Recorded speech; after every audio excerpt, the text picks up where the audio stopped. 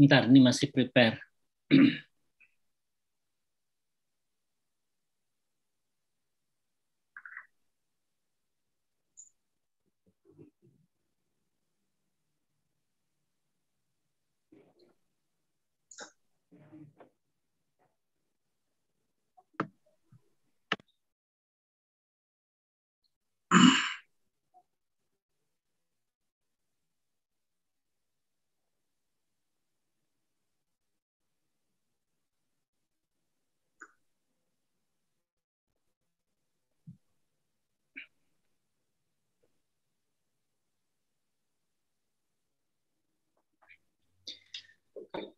Selamat pagi. Uh, kita untuk uh, Bapak Vino Tobing, juga Bu Yurina, serta para mahasiswa yang mengambil mata kuliah uh, MT 4006, Management dan Entrepreneurship uh, dalam Teknologi uh, Material.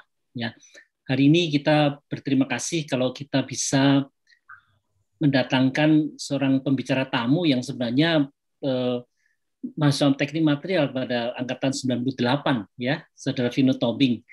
Nah, untuk perkenalan lebih lanjut saya mau menyerahkan kepada Ibu Yurina untuk memperkenalkan uh, Saudara Vino Tobing. Terima kasih.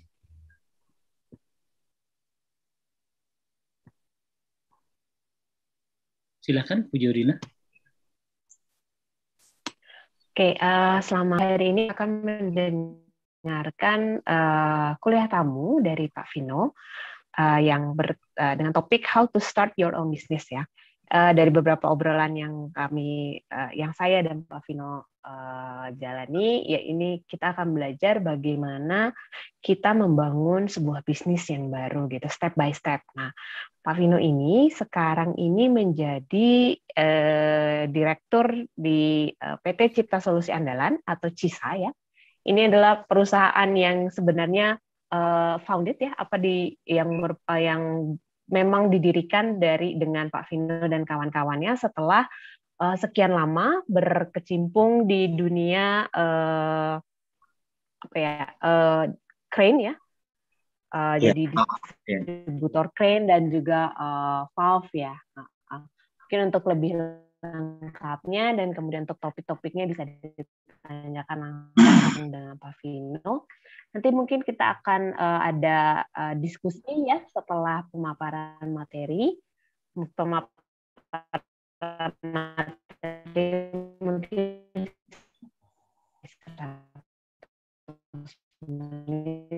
ya, saya persilahkan ya Pak Vino, silahkan. Iya, baik. Terima kasih Bu Yorina, terima kasih Pak Budi ya dan salam kenal buat uh, teman-teman uh, semuanya ya. Jadi uh, mungkin perkenalan sedikit ya. Jadi saya uh, dari Teknik Material angkatan 98 ya. Uh, setelah lulus kuliah uh, saya berkarir secara profesional ada sekitar 14 tahun ya. Uh, di bidang yang sama ya, di bidang yang sama dimulai dari uh, perusahaan lokal ya saya join dengan uh, beberapa distributor lokal ya. Kemudian terakhir uh, sebelum memulai bisnis ini 8 tahun saya join dengan satu multinational company ya. Yang ini yang menjadi sekarang uh, principal company kami.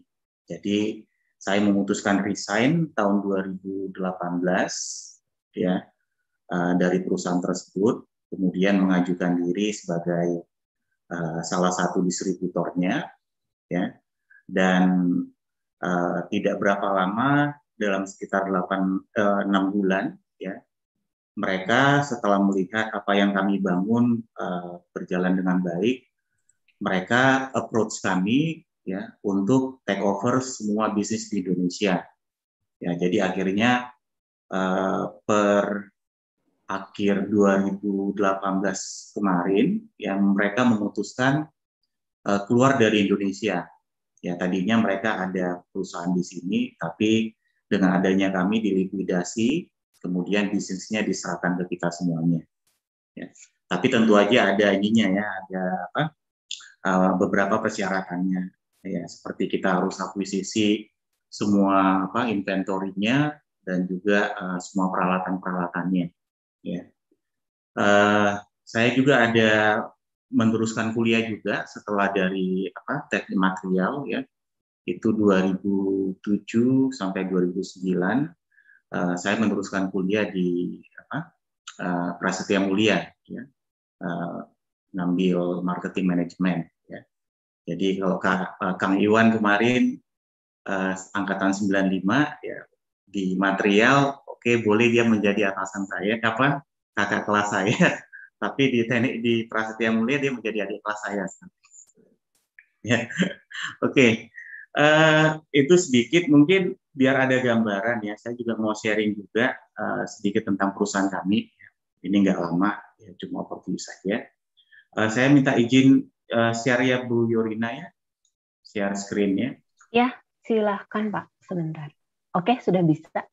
Oke, sudah bisa ya. Oke. Baik.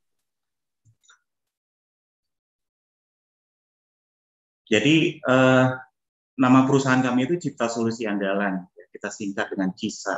Ya.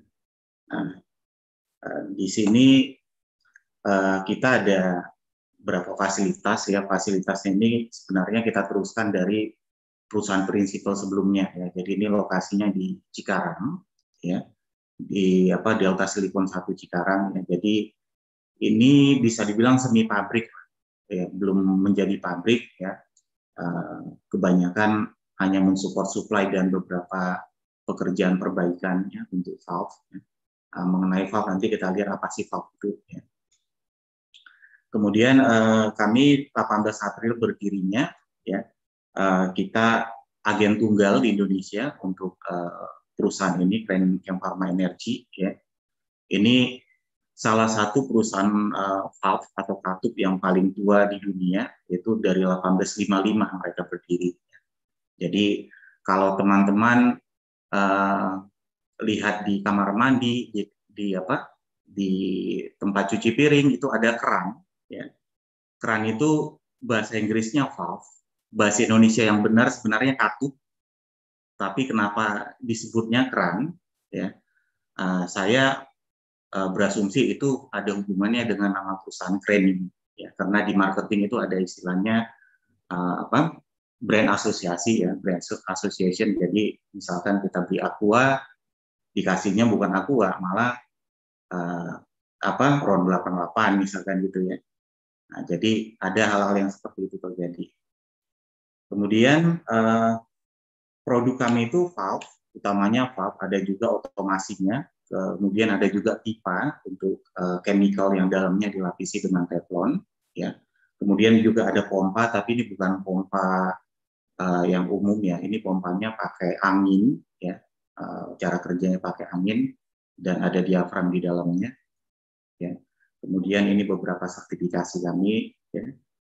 Uh, kita ada sekitar 33 karyawan ya. Oke, ini beberapa fasilitasnya ya. Uh, kita ada juga sebenarnya teknik material yang udah join di tempat kami ya. Ada namanya Pak Virus ya. Pak Virus 2000 Rus, Pak Virus 2000 berapa? Kamu 2000 berapa? 14. 2014 ya. 2014 Pak Virus atau Pak Budi ada ingat nggak atau Bu Bu Jorina? Ya. Oke. Ini lagi lanjut ya. Ini beberapa list peralatannya ini uh, beberapa pekerjaan yang kita lakukan ya. Jadi produk utamanya itu valve uh, atau keran ya bahasa sederhananya ya.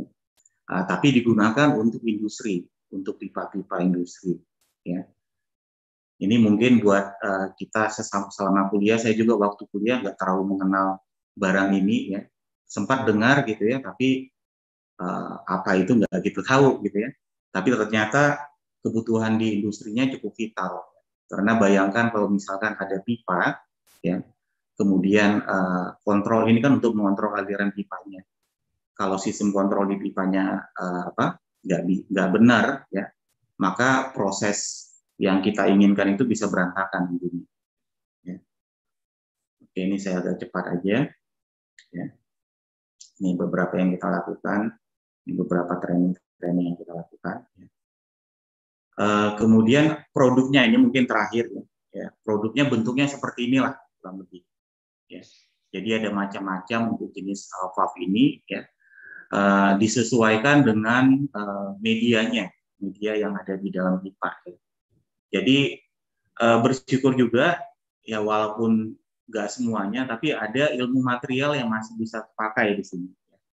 Nah, terutama waktu proses ini seleksi material ya, nah, kita bisa uh, apa uh, ya dibantu. Saya dibantu sekali dengan ini uh, apa yang saya pelajari di teknik material.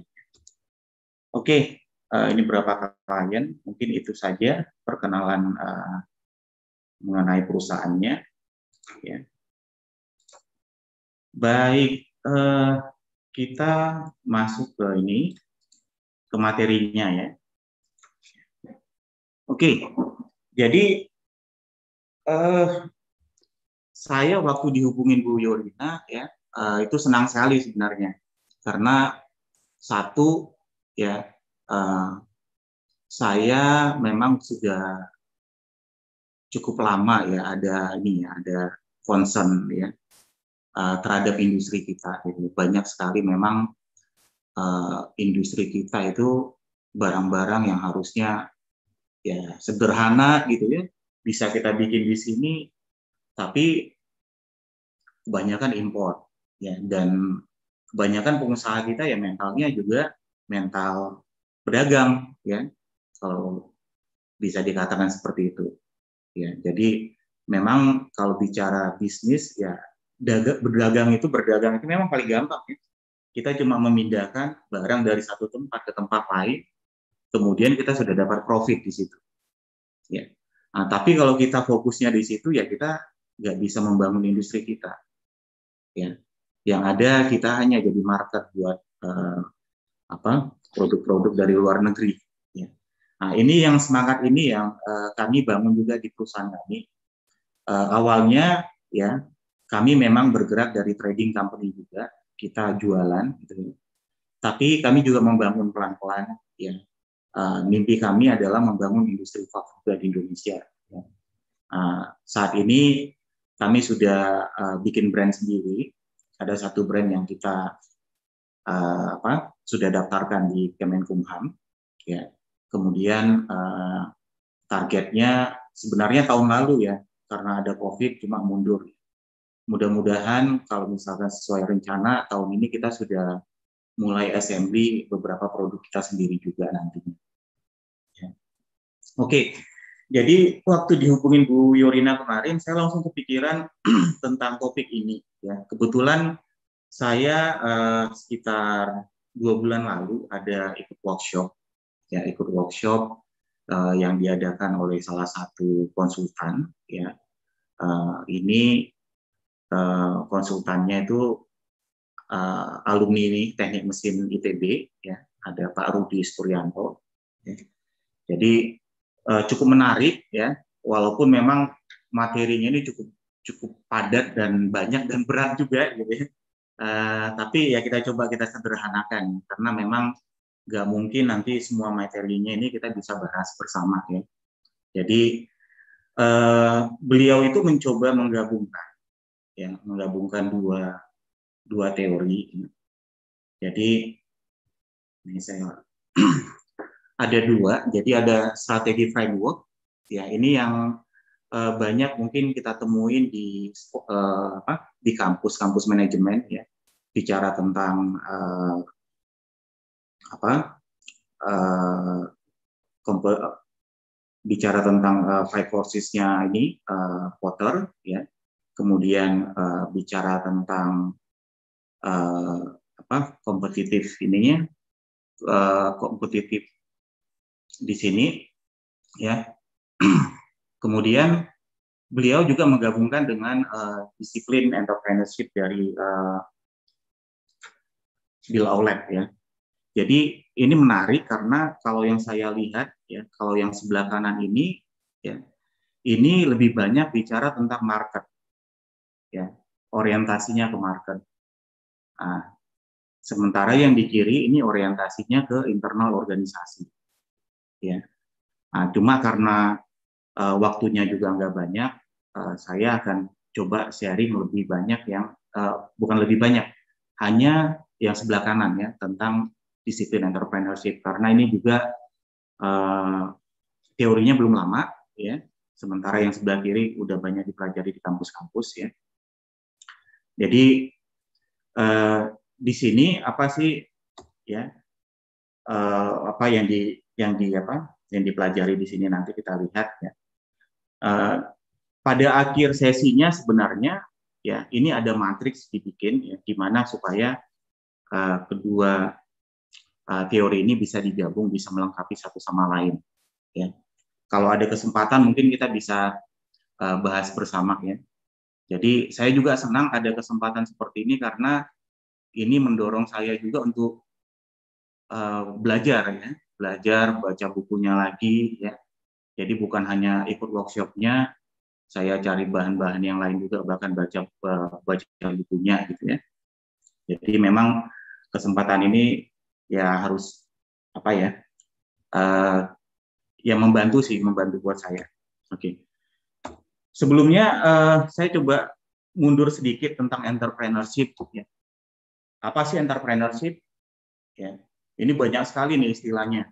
Kalau kita lihat di internet ya definisi entrepreneurship dari luar negeri ya dari uh, dalam negeri itu banyak sekali ya banyak sekali dan kita nggak coba di sini untuk mendefinisikan ulang ya nah, karena terlalu banyak juga nantinya ya. Nah, tapi saya ada ambil dua ya. Eh, ambil dua definisi di sini, satu dari Pak Hermawan Kartajaya, ya. Kemudian uh, beliau mengatakan bahwa entrepreneurship itu adalah suatu usaha menciptakan nilai, ya. Jadi kata kunci pertama itu menciptakan nilai melalui pengamatan atas suatu kesempatan bisnis. Jadi bicara tentang peluang bisnis, ya pengamatan terhadap peluang bisnis, kemudian melakukan manajemen risiko yang mungkin timbul. Ya, jadi analisa risikonya ada, ya kemudian ya membangun keterampilan dan uh, untuk berkomunikasi ya dan uh, memobilisasi sumber daya yang ada terutama human resource-nya untuk menciptakan sesuatu yang menghasilkan ya menciptakan bisnis di situ ya nah, ini dari beberapa uh, apa, definisi ya beliau uh, definisi Pak Hermawan ini cukup berbeda ya, karena umumnya kebanyakan itu bicara tentang kreativitas, bicara tentang inovasi. Ya. Nah, walaupun nanti yang uh, kaitan dengan Bill Aulet ini juga definisinya sama, ya, dia bicara tentang inovasi dan kreativitas. Ya. Nah, tapi ini untuk menambah ini aja referensi kita bahwa entrepreneurship itu ya menurut saya sih susah ininya uh, kita mendefinisikan secara komprehensif karena luas sekali, ya. luas sekali. Ya, jadi kalau mau lengkap ya memang mungkin kita harus gabung-gabung beberapa uh, pendapat uh, mereka yang sudah ini ya sudah mendalaminya. Ya. Oke, tapi di sini yang saya mau uh, kita garis bawah itu adalah kreativitas dan inovasi. Oke, Uh, Profesor Bill Aulet ini membagi ya, membagi entrepreneurship itu menjadi dua ya mendua, uh, menjadi dua bagian berdasarkan size-nya. Yang pertama usaha kecil menengah ya uh, small medium enterprise ya. Ini seperti apa warung misalkan gitu ya. Seperti warung ya. Kemudian uh, ya rumah makan gitu ya.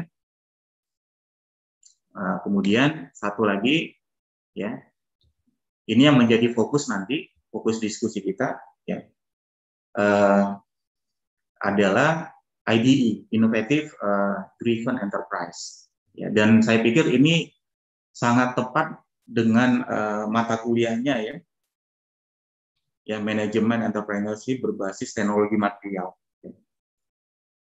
ya. Apa perbedaannya? Perbedaan keduanya. Ini warung kita lihat di mana-mana, jadi kita uh, gampang sekali mengamatinya bahwa uh, tipikalnya itu ya investasinya itu dengan hasilnya bisa dibilang linear. Ya. Jadi kita invest ya Nah, itu pertumbuhannya linear. Ya, tapi ada ininya, ada batasannya. Ya, nggak bisa linearnya sampai unlimited, sampai besar sekali nggak bisa. Ya. Nah, yang kedua, ya, yang inovatif, uh, inovatif driven enterprise ini, ya, waktu investasinya itu cukup lama, ya. Kemudian pertumbuhannya eksponensial dan modalnya besar. Nah, bahkan di sini kalau kita lihat ada satu waktu terutama di awal-awal kita berinvestasi ya. Di sini malah kita minus di sini. Istilahnya kalau yang sekarang kalau teman-teman lihat di startup startup ya mungkin di sini yang dikatakan bakar duit itu di sini. Ya. Jadi ada masa-masa kita bakar duit dulu ya. Nah, mungkin kita bisa lihat seperti Gojek awal-awal itu promosi gila-gilaan sampai orang bingung, oh ini untungan dari mana nih mereka? Ya, dapat untungnya bagaimana nih? Bisa kasih harga semurah itu promosi gila-gilaan. Nah, tapi begitu pick up ini slope-nya ya besar sekali gitu ya. Besar sekali. Oke. Okay. Uh, eh,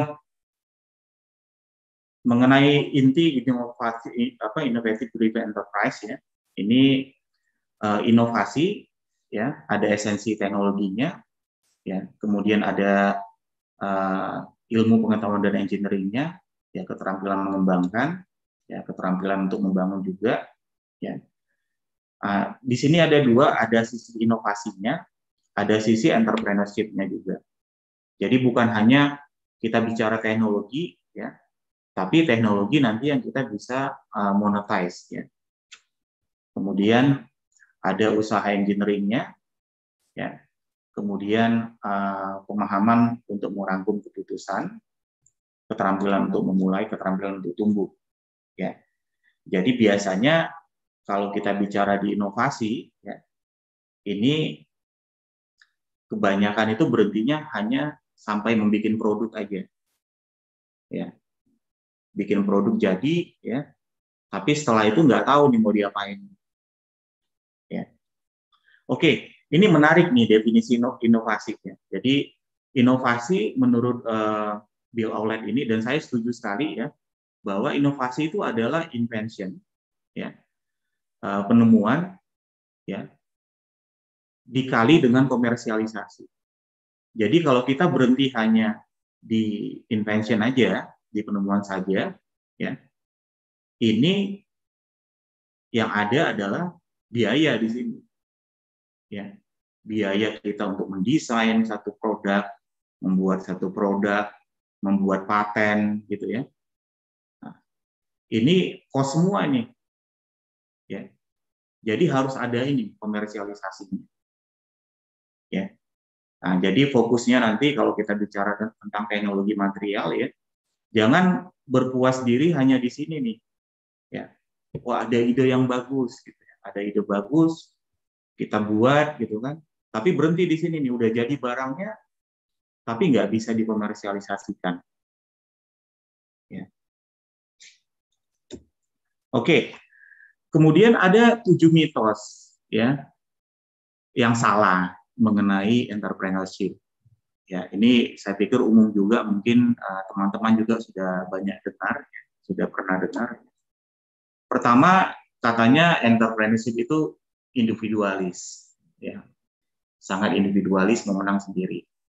Ya, nah, saya memang belum lama ya, saya baru tiga tahun menjalani apa, menjalani perusahaan ini, tapi uh, di awal berdiri aja uh, kita ada bertiga, ya, jadi saya ada partner juga dua orang lagi.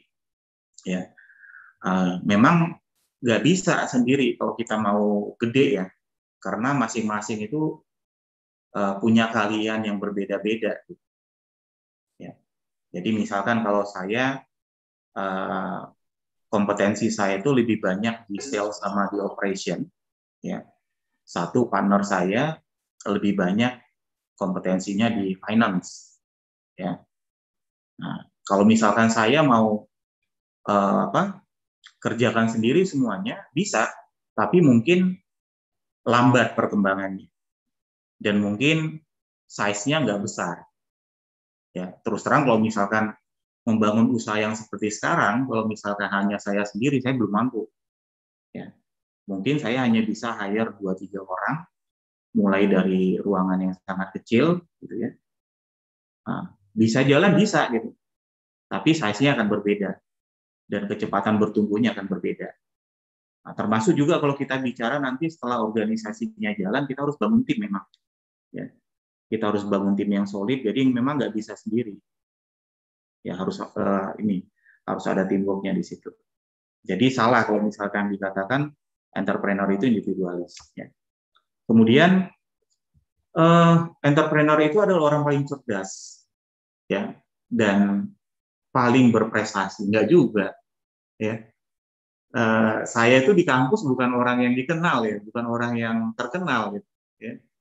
Uh, mungkin orang yang dibawa radar mah ya. Saya secara akademis gak uh, apa uh, gak menonjol gitu ya. Uh, di organisasi juga ya biasa-biasa aja ikut-ikut tapi nggak menonjol gitu ya, ya jadi nggak uh, bukan seperti ini ya. Kalau dikatakan paling cerdas dan paling berprestasi nggak juga. Ya. kemudian bakat ya. Entrepreneur itu bakat ya tidak bisa dibuat. Nah, kalau ini enggak juga, banyak orang yang backgroundnya dari keluarganya, ya, dari kakek-kakeknya, kakek neneknya bukan entrepreneurship, bukan entrepreneur, ya, tapi sukses, ya, sukses di bisnis, ya. Jadi ini uh, salah, ya. Kemudian senang resiko, ya. Nah, bisnis itu memang ya nggak jauh dengan resiko ya. Tapi bukan berarti kita uh, sembarangan gitu ya, seperti kita main ini main uh, lotre ya, jadi seperti berjudi gitu ya, ambil apa resiko yang gede, untungnya gede gitu ya, high risk high gain katanya, nggak gitu juga. Ya pengalaman kami juga uh, mengatakan bahwa ya semuanya kita harus ini harus bisa identifikasi semua resiko.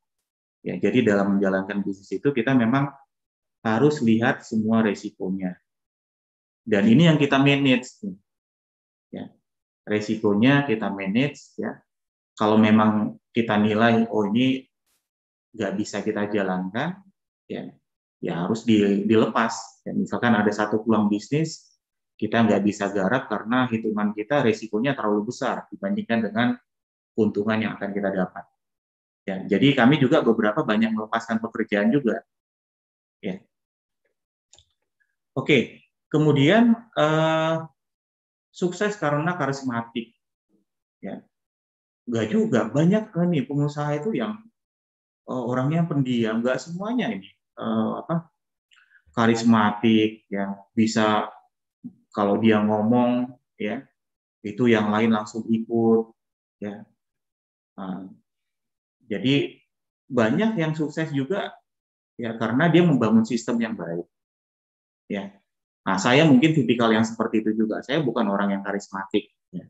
Saya bukan orang yang leadershipnya uh, kuat sekali enggak. Ya. Tapi kami membangun sistem. Ya.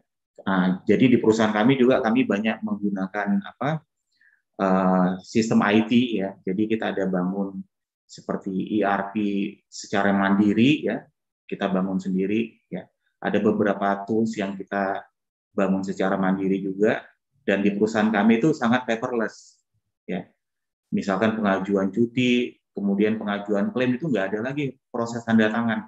Semuanya uh, lewat handphone ya jadi gampang sekali ya. kemudian uh, entrepreneur itu adalah keberuntungan ya ada memang masa-masa yang eh, waktu-waktu yang ini ya kita anggap orang mungkin membilangnya itu uh, ini uh, faktor luck gitu. Ya. Kalau saya bilangnya berkat gitu.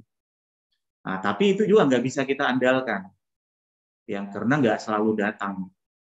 Ya, misalkan nih, waktu awal kami berdiri ya tahun 2018 kita pernah dapat satu kerjaan cukup besar. Dan ini sepanjang hidup saya nggak pernah terjadi hanya satu kali itu saja ya. Kita dapat kerjaan ya umumnya kerjaan itu selesai baru kita dibayar ya. Tapi entah kenapa ada satu kerjaan ini kita dibayarnya di depan dan dibayar full walaupun pekerjaannya itu lima, lima bulan lagi baru selesai. Dan ini benar-benar berkat yang membuat kami uh, di awal berdiri itu cukup inilah cukup uh, apa tenang gitu ya. Ya cukup tenang. Ya tapi nggak bisa kita harapkan seperti itu. Ya. Masa kita menanti yang satu kali seumur hidup kan ya. Jadi yang tepat itu adalah ya luck itu sebenarnya pertemuan antara persiapan dan kesempatan ya jadi ya kita harus siap dulu supaya begitu ada kesempatan, ada opportunity kita bisa ambil. Ya. Kalau misalkan kita nggak persiapkan dengan baik, ya kesempatannya hilang. Oke, yang terakhir ya, eh, tidak disiplin. Ya, nggak juga. Ini sangat salah. Ya. Nah, ini saya rasakan begitu saya usaha sendiri ya, dibandingkan waktu saya apa jadi karyawan justru saya lebih disiplin sekarang dibandingkan dulu. Ya. Kenapa? Karena ini bicara udah hidup mati saya jadinya ya.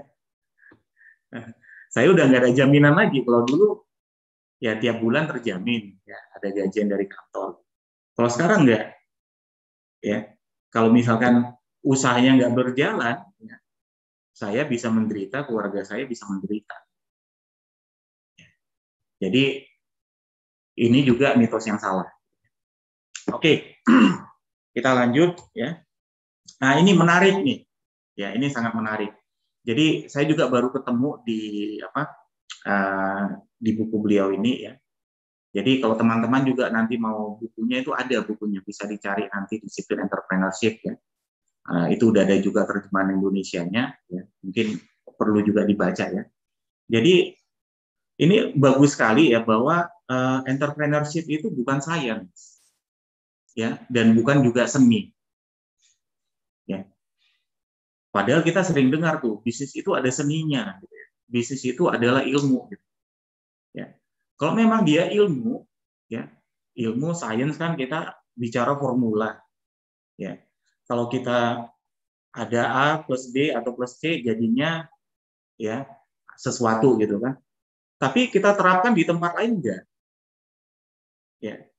Jadi nggak ada formula yang baku di sini. Jadi kalau dikatakan uh, ini science, nggak benar juga. Ya. Kalau seni, ya memang ada unsur seninya gitu. Tapi kalau seni melulu seni enggak juga. Ya. Nah, jadi menarik nih eh, apa pandangan beliau ini bahwa entrepreneurship itu adalah art, eh, ini craft. Ya. Craft itu ada di tengah-tengah science dan art. Ya.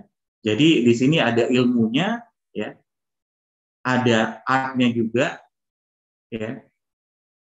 Nah, kita lihat elemennya apa? Elemen uh, craft itu ya dapat dicapai kemudian uh, membangun produk yang unik.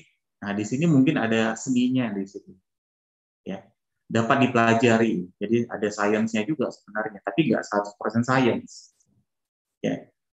Kemudian ini, ini tadi yang saya katakan nih. Ini formulanya nggak bisa ini, nggak bisa berlaku untuk semuanya. Mungkin ada prinsip utama ya yang uh, secara general bisa gitu ya untuk semua bisnis, tapi untuk proses berikutnya ya berbeda-beda gitu.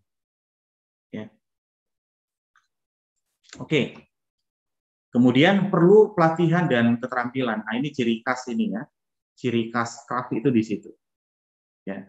Jadi kalau kita katakanlah uh, mau belajar tentang woodworking ya. Kebetulan saya itu cukup tertarik sama woodworking ya.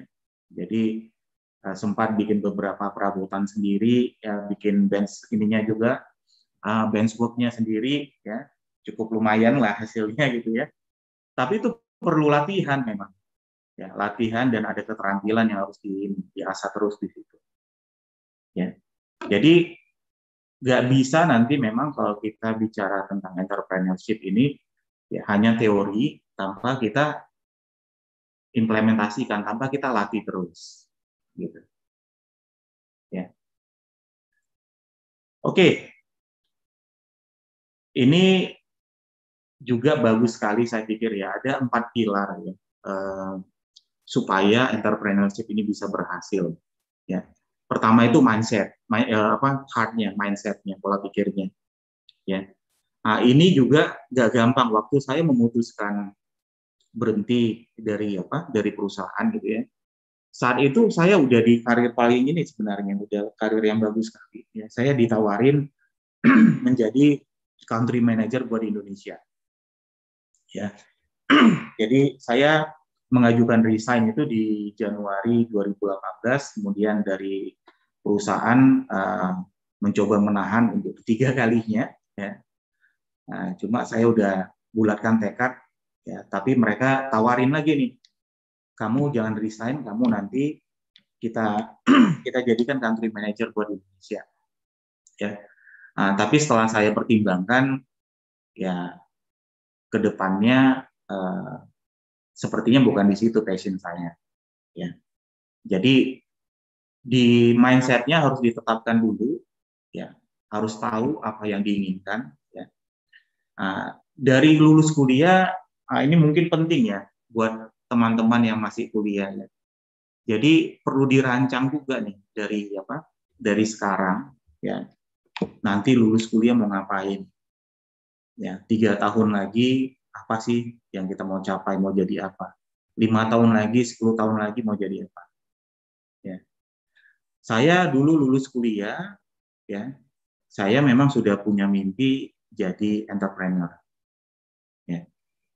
Nah, cuma uh, dari beberapa diskusi, dari beberapa uh, apa uh, bahan-bahan yang saya baca, ya, uh, memang harus ada persiapan yang matang juga ya.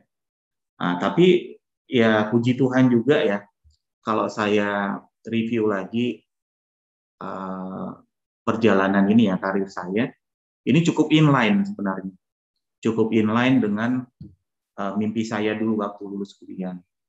Jadi pertama itu saya join dengan perusahaan kecil, perusahaan lokal ya. Di sini saya belajar banyak, belajar semuanya. Nah ini ada untungnya nih. Kalau teman-teman lulus kuliah uh, join dengan perusahaan kecil, ya, karena kita terekspos dengan banyak hal di situ, ya, bisa mengerjakan banyak hal.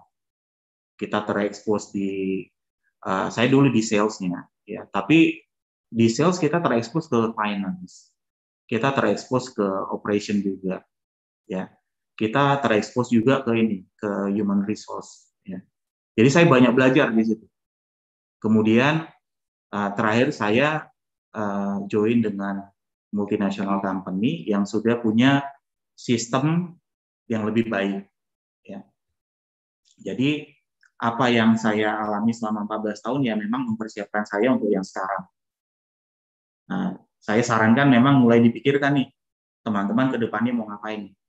Apakah mau jadi entrepreneur atau mau jadi profesional, apa pun itu, ya sebaiknya dirancang.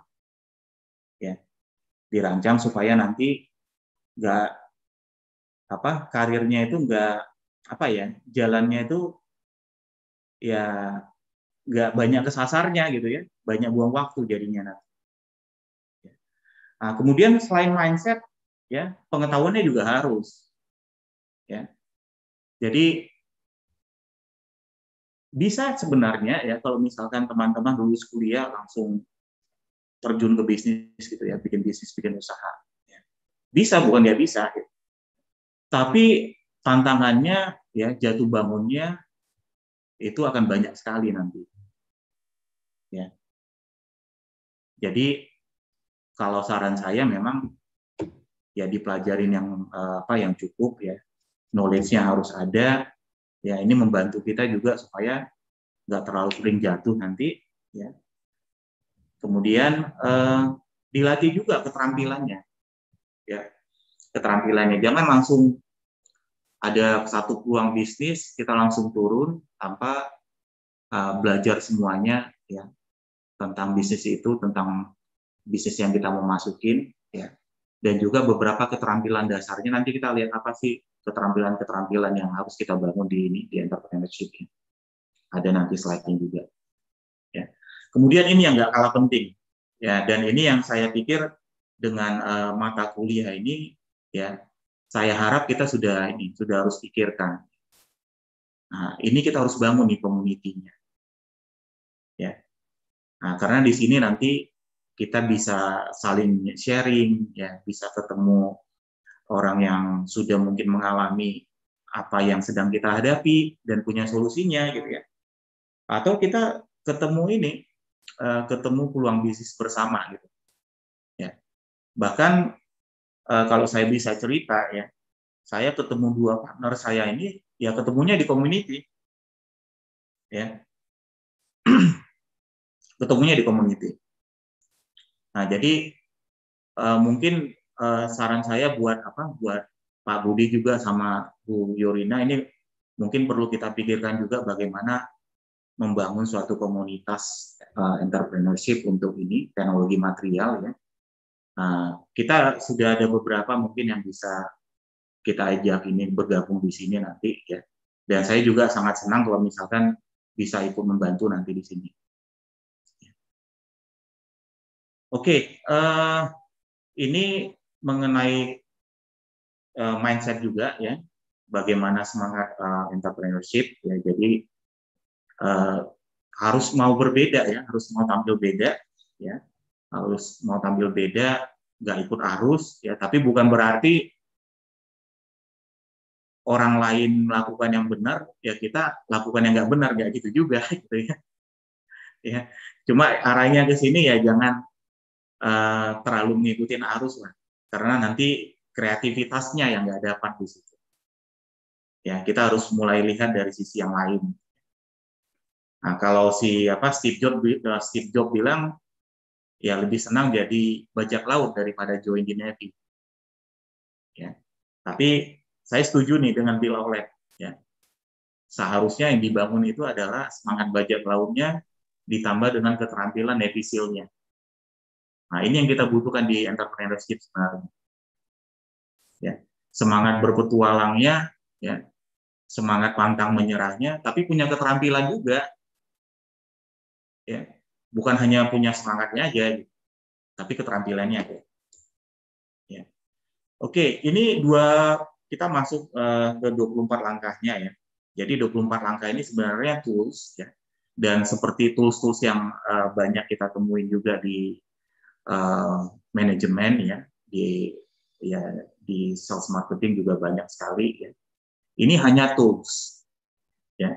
Belum tentu uh, semuanya aplikatif buat setiap kondisi ya. Tapi ini bisa membantu kita.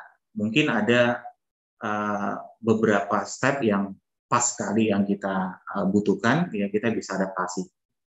Nah, jadi kalau uh, saya biasanya banyak dibantu sama buku ya saya banyak baca-baca buku ya nah, biasanya memang nggak semuanya aplikatif tapi ya itu membantu kita paling tidak dapat ini dapat ide ya atau beberapa yang dituangkan di buku itu juga kita bisa adaptasi tapi nggak 100% Oke, ini yang tadi uh, bicara tentang skill-skillnya ya. Jadi skill apa sih yang kita butuhkan uh, dalam entrepreneurship ya? Yang pertama dimulai dari proses uh, ini nucleation idea ya. Jadi proses uh, untuk mendapatkan ide bisnis ya. Nah, kita butuh apa ya? Ada soft skill-nya di situ yang kita butuhkan. Ya. Kemudian uh, dalam memikirkan satu produk ya, nah, kita juga harus bisa apa? Ada kemampuan ya gimana mengerti market. Ya. Nah, ini nanti yang 24 langkah ini dia nggak bicara semuanya nih. Dia nggak bicara semua tentang skill ini. Ya. Lebih banyak nanti bicara tentang market sama produk. Jadi bagaimana uh, produk kita itu bisa fit ya, fit dengan marketnya. Ya. Bagaimana kita bisa ngerti ya uh, marketnya ya bagaimana juga kita bisa scale up nanti produk kita. Ya, bicaranya nanti lebih ke sana. Makanya kalau digabung dengan uh, yang tadi di sebelah kiri tadi ya, yang uh, apa kan tadi di awal saya ada dua yang sebelah kanan yang 24 langkah ini, yang sebelah kirinya kalau digabung yang lebih ke internal organisasinya, saya pikir ini bagus sekali. Ya. Oke, okay. uh, ini specific skill ya uh, untuk mengembangkan ininya uh, perusahaannya kita perlu setelah berdiri ya kita perlu tenaga penjualan yang kuat ya. Jadi yang dibangun di mana-mana ya jualan dulu nih. Ya supaya bisa generate revenue ya supaya kita bisa mengembangkan organisasinya lebih lanjut. Karena tanpa uh, apa dukungan dana yang kuat ya nggak bisa berkembang. Kita bisa cuma bikin merancang planning aja. Ya bikin ide yang bagus-bagus tapi nggak bisa diimplementasikan dananya nggak ada. Ya makanya pertama kali dibangun itu salesnya. Ya salesnya dibangun dulu. Kemudian berikutnya nah, kita mulai kembangkan uh, apa tim yang lain ada uh, apa untuk pengembangan produknya ya. Kemudian untuk gimana manajemen proyeknya ya nah, ini dan berikutnya terakhir uh, gimana kita uh, mengembangkan ini tim kita HR-nya ya leadership uh, and culture di company kita gitu ya. Nah, kami di saat-saat ini lagi fokus tentang culture.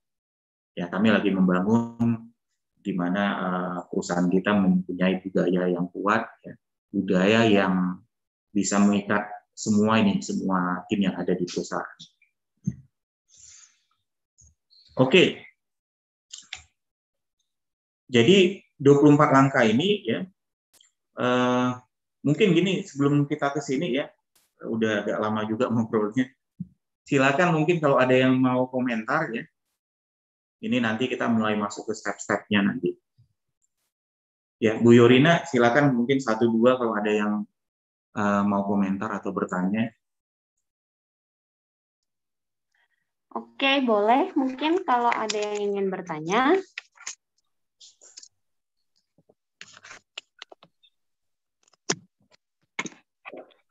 Akan resen ya. Kalau ada yang mungkin kurang jelas, ingin ada komentar atau ingin bertanya untuk mahasiswa.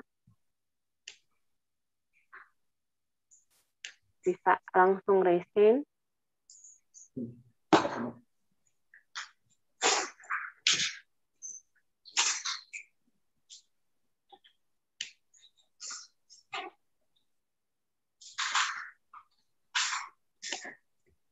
Saya komentar aja sedikit ya, untuk untuk. Saya kira tadi usulan tentang ide membangun komunitas itu saya kira menarik ya. Membangun komunitas caranya bagaimana nanti saya kira akan kita diskusikan.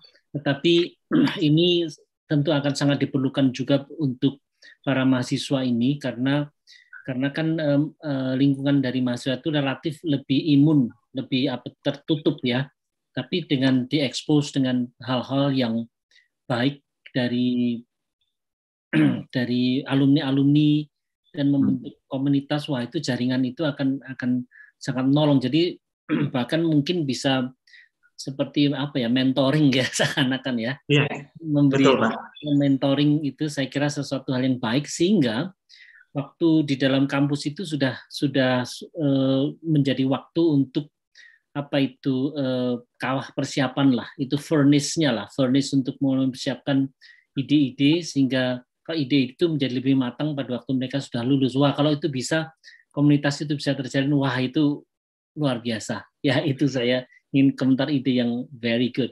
Ya dan apa yang disampaikan tadi bagi saya sangat menarik ya sangat menarik. Dan kemudian eh, apa ya kita berbicara material di dalam kaitan dengan aplikasi pentingnya komersialisasi dan sebagainya saya kira itu sesuatu hal yang sangat penting yang sering kali dilupakan. Nah itu saja komentar saya. Terima kasih.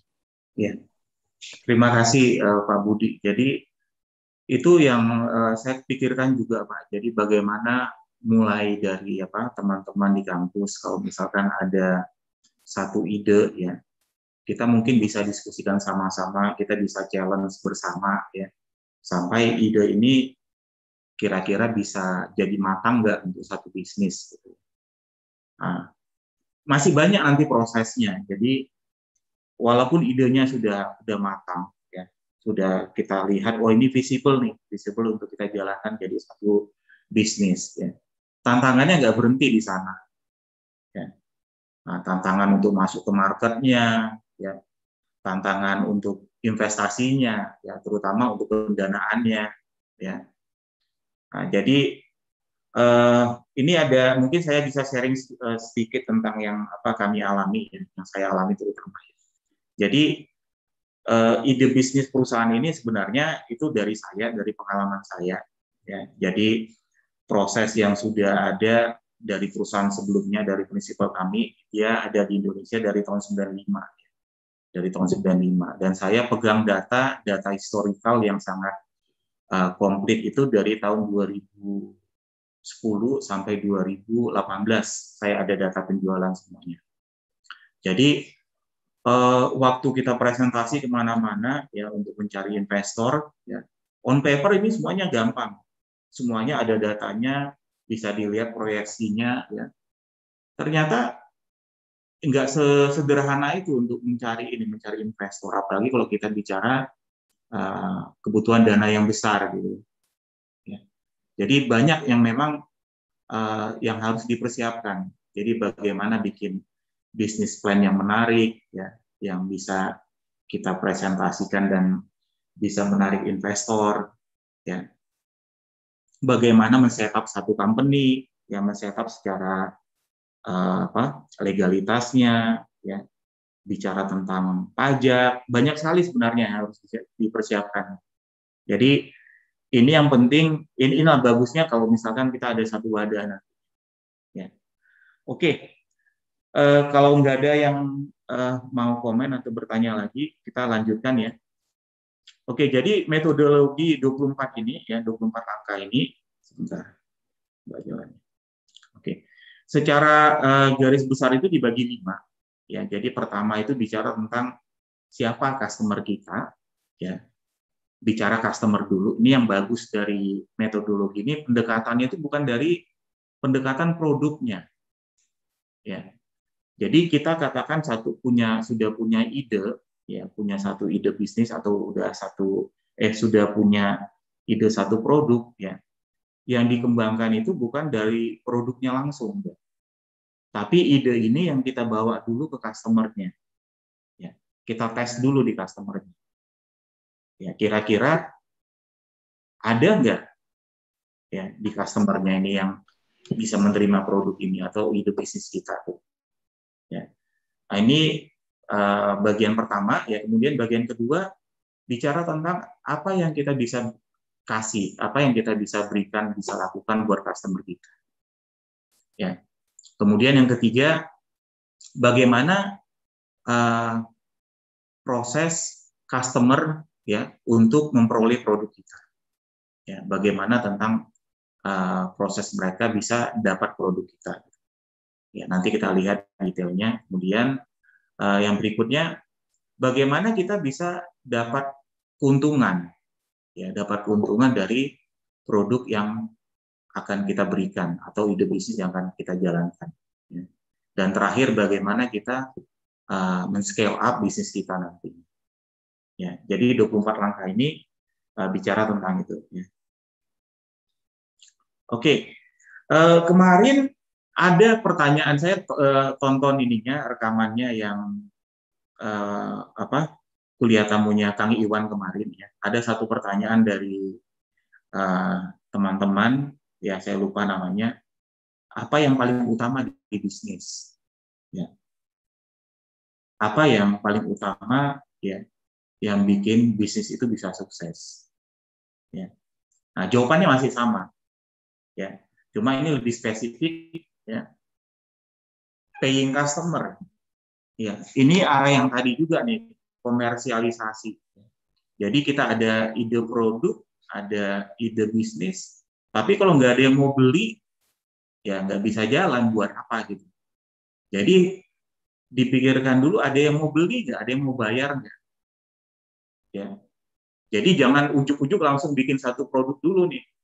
Jangan bikin langsung satu bisnis tanpa dipastikan ada yang mau bayar nggak. Ya. Jadi kuncinya paling utama di sini. Ada yang mau bayar nggak? Ya. Oke. Jadi uh, untuk bisa tahu nanti ke arah sana ya memang kita harus uh, ini pahami customernya nanti. Nah, pahami ya bukan hanya kenal nih ya tapi tahu kira-kira apa kebutuhan mereka apa masalah mereka ya kalau kita bicara di sales ya kita sering sebut itu istilahnya nih pain points-nya apa nih ya apa yang bikin mereka pusing bikin mereka sakit kepala apa nih. Ya.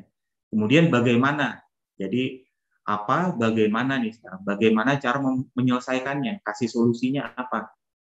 Ya. Apa solusinya? Nah, memang nanti solusi yang kita tawarkan dengan uh, masalahnya itu ya nggak ada yang 100% bisa fit ya. Nah, tapi yang kita cari itu sebenarnya ya irisannya pengalaman saya memang gitu. Jadi kita tawarkan solusi belum tentu 100% bisa memecahkan, tapi paling tidak ya ada irisannya. Ya, dan ini yang kita cari sebenarnya. Ya. Oke. Uh, yang pertama tadi ya, is your customer? Ya, ini bicara yang biru ini ya, ular tangga ya, kita sebut kayak ular tangga ya. Jadi yang warna biru ya bicara tentang siapa customer kita ya. Nah, kemudian uh, ini ada lima ada enam step ya. Pertama itu segmentasi ya. Kemudian memilih beachhead nanti kita uh, lihat apa sih itu beachhead itu. Kemudian membangun end user profile-nya. Kemudian uh, hitung tamnya ya kemudian uh, membangun profil personanya. Nanti kita lihat apa sih persona itu. Oke, kita lihat satu-satu ya. Terakhir, identifikasi customer berikutnya. Ya. Oke, uh, setelah kita punya ide, ya ide bisnis ya atau ide produk, ya ide ini yang kita bawa dulu ke customernya. Ya, kita membangun segmentasi dulu. Kira-kira produk atau ide ini kita mau masukkan ke segmen mana? Ya. Nah, ini segmen nanti kita bicara tentang demografi, geografi, eh, kemudian tentang psikografi sama behavior. Ya. Nah, di sini sebaiknya detail, sedetail mungkin. Ya, sedetail mungkin. Misalkan kemarin itu saya ada ikut workshop, eh, ada yang ingin bikin satu bisnis tentang eh, di ini bisnis kurir ya, seperti di KJNE gitu. Nah, waktu ditanya uh, apa segmentasinya ke mana, ya customer yang mau disasar gimana? Oh itu customer, customer apa orang-orang yang uh, apa pendapatannya katakanlah 10 juta ke atas gitu ya per bulannya. Karena ini memang uh, apa dia mau bangun bisnisnya itu agen-agen yang di rumah-rumah gitu, agen-agen yang di rumah. Nah, tapi hanya seperti itu aja. Ya. Tanpa dilihat mungkin uh, apa dari geografinya di mana ya. Kemudian uh, ya apakah ini tadi geografi ya di sasarannya area perkotaan, pedesaan atau di mana kita nggak tahu juga gitu ya. Kemudian uh, jenis pekerjaan existing uh, apa calon-calon agentnya ini seperti apa juga nggak jelas gitu. Ya. Nah, kalau bisa sedetail mungkin, ya. Nah, misalkan katakanlah uh, misalkan di bisnis kami ya, bisnis kami kita lagi mau coba masuk ke general industry. Ya. General industry itu terlalu luas itu ada food beverage di, dalam, di dalamnya ada textile ya kemudian ada apa lagi uh, palm oil, ya, ya banyak sekali lah di dalamnya tuh. Bicara tentang food beverage juga banyak sekali turunannya, ya. Ada uh, apa kopi ekstrak, ya, ada bikin apa minuman-minuman sirup, ya. Jadi kalau bisa sedetail mungkin, sespesifik mungkin, ya, bikin segmentasinya. Ya, nah di sini nanti uh, coba kita bikin uh, daftar ya 6 sampai 12 ya market atau customer yang kita mau sasar. Ya, yang kita mau targetkan. Ya. Setelah itu kita lakukan research ya. Researchnya apa? Nanti kita lihat apa aja yang kita mau research. Nah, nanti dari 12 ini kita coba analisa ada nggak yang bisa kita layani dengan baik dan kita memperoleh manfaat dari ini eh, customer-customer uh, itu. Ya. Jadi cari dulu segmentasinya, tentukan segmentasinya, ya. Kemudian uh, untuk produk ya atau layanan yang kita uh, akan lakukan akan berikan itu, ya, ada nggak bisa memberikan ini manfaat ya keuntungan buat customer di segmen itu? Ya. Kemudian nanti dari 6 sampai 12 ini ya kita akan pilih satu nanti pada akhir ini ini yang menjadi beachhead kita nanti ya. Nah, ini kebetulan uh, Pak Rudi yang konsultan ini ya dia uh, backgroundnya dari uh, aviasi ya. Jadi dia banyak me, apa, memberikan contoh itu dari ini dari aviasi. Ini contoh dari beliau ya. nah, jadi waktu mereka uh, apa uh, produknya itu pesawat terbang ya. Uh, pesawat terbang jenis yang seperti ini kemudian targetnya ke mana nih targetnya ya kalau dari pemerintahan seperti ini ada berapa target ya kemudian uh, operator ini uh, apa airline ya bisa juga itu jadi targetnya. Ya secara geografi bisa pasar dalam negeri atau luar negeri. Ya. Nah ini contohnya lagi ya. Jadi analisa contohnya misalkan uh, air transportnya ya itu di ditentukan mereka uh, bisatnya itu dipilih menjadi satu itu pelita air. Kenapa? Karena uh, pelita air ini rutenya rute-rute yang pendek, jadi sesuai dengan pesawatnya, jenis pesawat yang uh, mau ditawarkan. Gitu ya. Oke, ini contoh lagi, misalkan untuk produknya drone. Nah, produk drone ke mana nih kita bisa ini bisa masuk segmennya? Ya.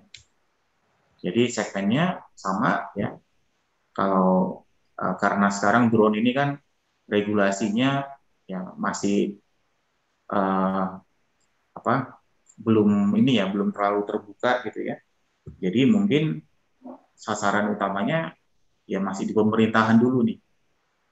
Ya. Atau bisa juga masuk ke air operator yang tadi ya, ya kurang lebih sama dengan yang pesawat tadi ya oke bis market ini apa nih? Jadi setelah kita tentukan 6 sampai 12 tadi ya. Kita pilih satu customer yang kira-kira ya bisa kita masukin ya. Bisa kita istilahnya itu ya bisa kita garap lah gitu ya, istilah sederhananya. Ya. Nah, ini eh, sama seperti waktu ini waktu Jerman yang meng, apa, menginvasi eh, Eropa ya jadi pertama itu mereka masuknya lewat Normandi dulu, mendaratnya lewat situ.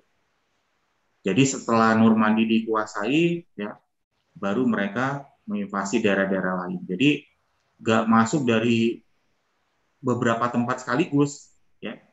Jadi kita pilih satu dulu nih, satu yang kira-kira bisa kita kuasai, ya. Uh, mungkin juga kita bisa uh, ada ya kita ada apa akses ke sana ya dan kita tahu benar mengenai perusahaan tersebut. Ya. Nah kita pilih satu dulu. Nah, dari sini nanti setelah kita kembangkan, ya, nah ini menarik nih. Ya. Setelah bisnisnya ini bisa uh, selesai kita kembangkan, kita bisa uh, tentukan nanti strategi berikutnya. Ya. Jadi kalau kita lihat ke kanan ini, ya, bisa saja nanti kita strateginya itu ekspansi market. Marketnya yang sama nih. Ya. Market yang sama, ya misalkan tadi katakanlah kami mau masuk di food beverage gitu ya.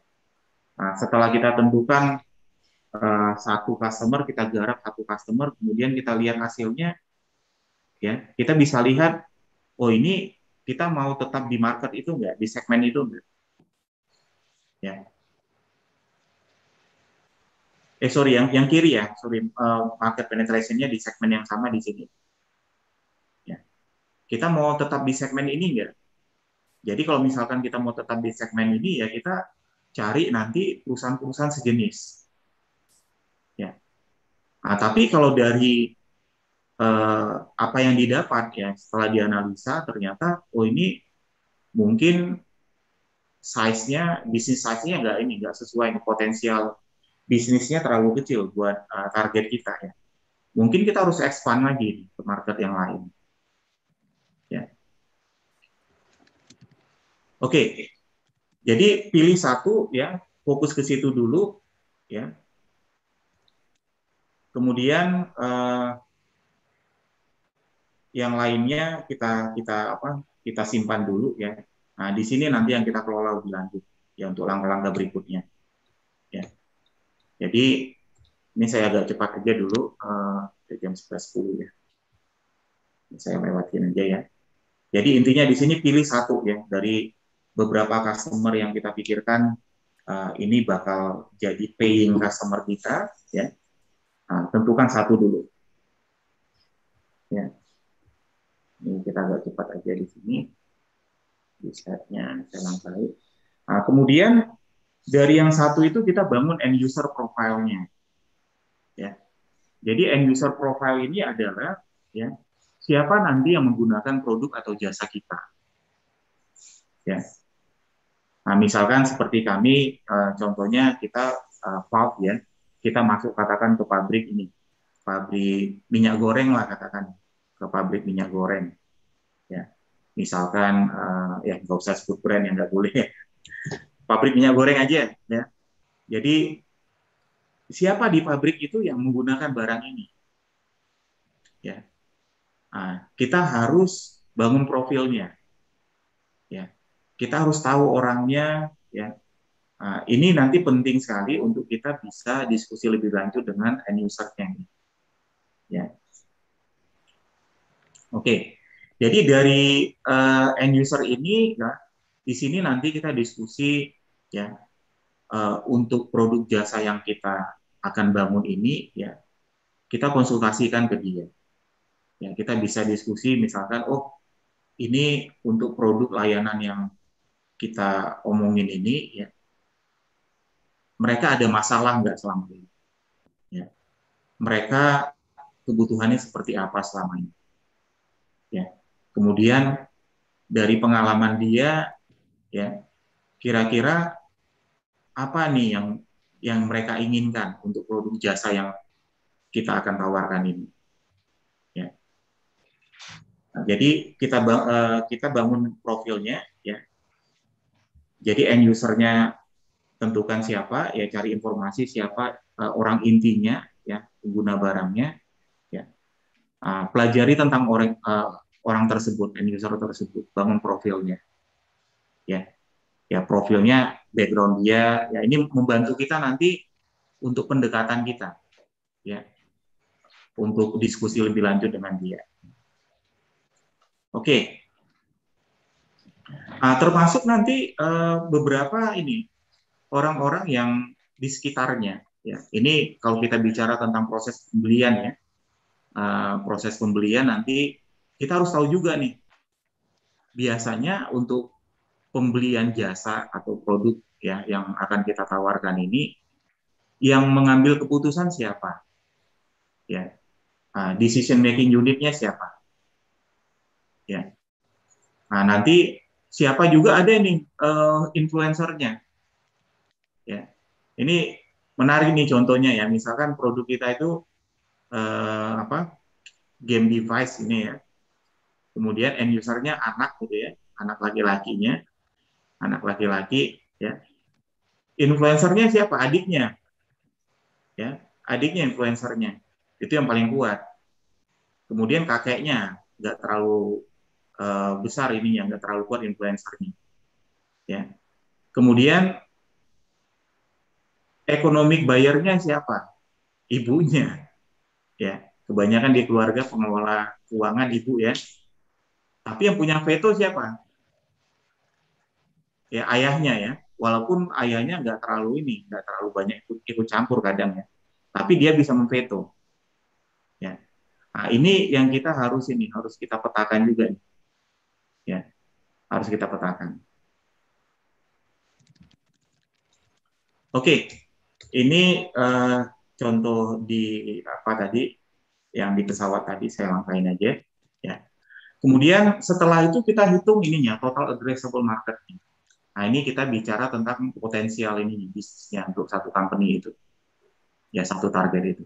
Nah, ini penting ya karena kita mau lihat juga nih kira-kira yang kita mau bangun ini ya produk atau jasa yang kita bangun ini ya peluang bisnisnya sebesar apa sih? Ya, terutama di biset yang tadi. Ya, di biset yang tadi ini besar nggak peluangnya? Ya.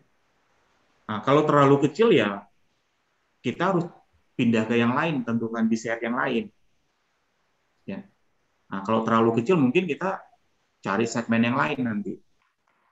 Kalau memang di segmen yang lain juga memang kecil ya, ya jangan-jangan memang peluangnya kecil ya potensialnya kecil.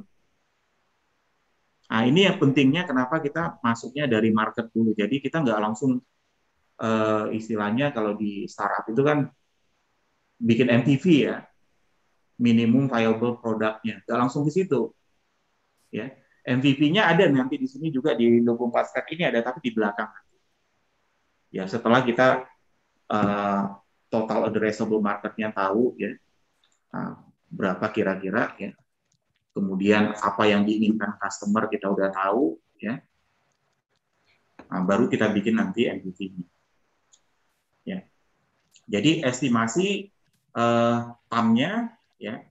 Ini paling gampang seperti yang kami lakukan eh, di tempat kami biasanya kalau kita sudah ketemu tadi eh, apa eh, personanya yang tadi ya uh, end usernya yang tadi kita bisa tanyakan langsung, uh, Bapak Ibu kira-kira untuk produk jasa seperti ini perusahaan Bapak Ibu satu tahun itu belanjanya berapa sih?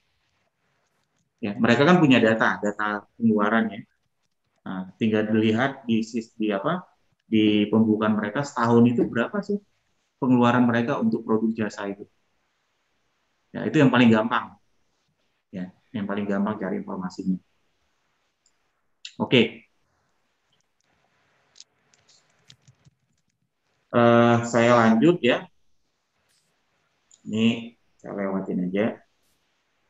Oke. Kemudian setelah itu uh, apa? Uh, kita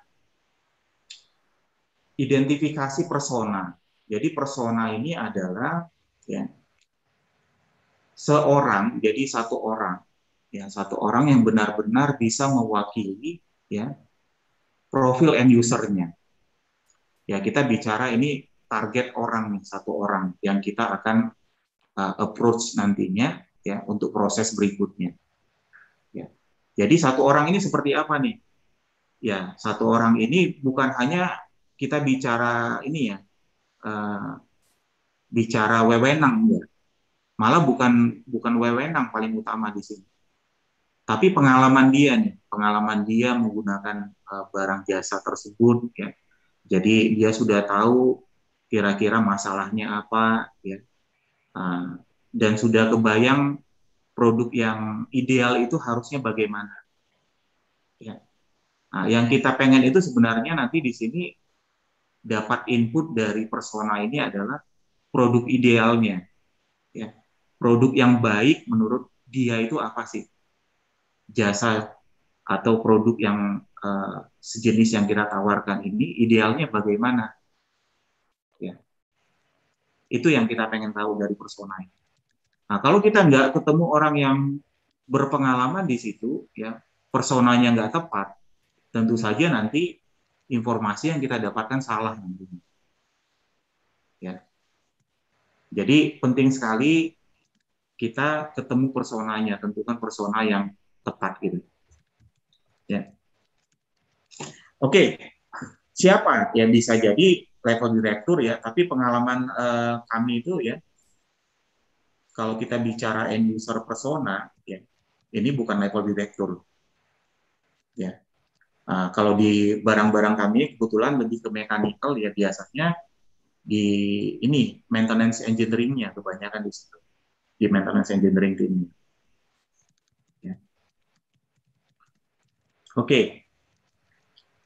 Jadi uh, di sini nanti apa yang kita mau dapat ya? Mau dapatnya nanti itu uh, membangun fokus kita, fokus terhadap manfaat yang dicari customer ya. ya manfaat yang kira-kira dibutuhkan customer itu apa sih dari jasa sama produk yang kita ini kita mau bangunnya oke kemudian kita juga bisa tahu uh, proses pembelian mereka gimana ya jadi uh, sebagai gambaran aja mungkin teman-teman yang belum apa belum terjun di apa di industri ya khususnya seperti kami ini di B2B, di bisnis to bisnis ya. Jadi biasanya proses pembelian itu uh, dari user, ya dari user dia akan request request barang untuk beli barang. Ya. Request ini biasanya masuk ke planner dulu, ya ke planner dia bagian yang mengestimasi, yang mengestimasi biayanya. Kemudian dia juga nanti akan membantu menentukan speknya juga, spesifikasinya seperti apa. Dan disesuaikan dengan budget maintenance atau budget uh, pembelian yang ada di unit tersebut dalam setahun. Ya jangan sampai nanti budget setahun ya habis hanya untuk satu dua pembelian saja sementara masih banyak kebutuhan yang mereka harus penuhi dalam setahun. Nah, dari planner biasanya nanti akan uh, masuk ke procurement. Ya. Nah, dari procurement dia nanti akan undang semua vendor-vendor, kemudian nanti dievaluasi, ya.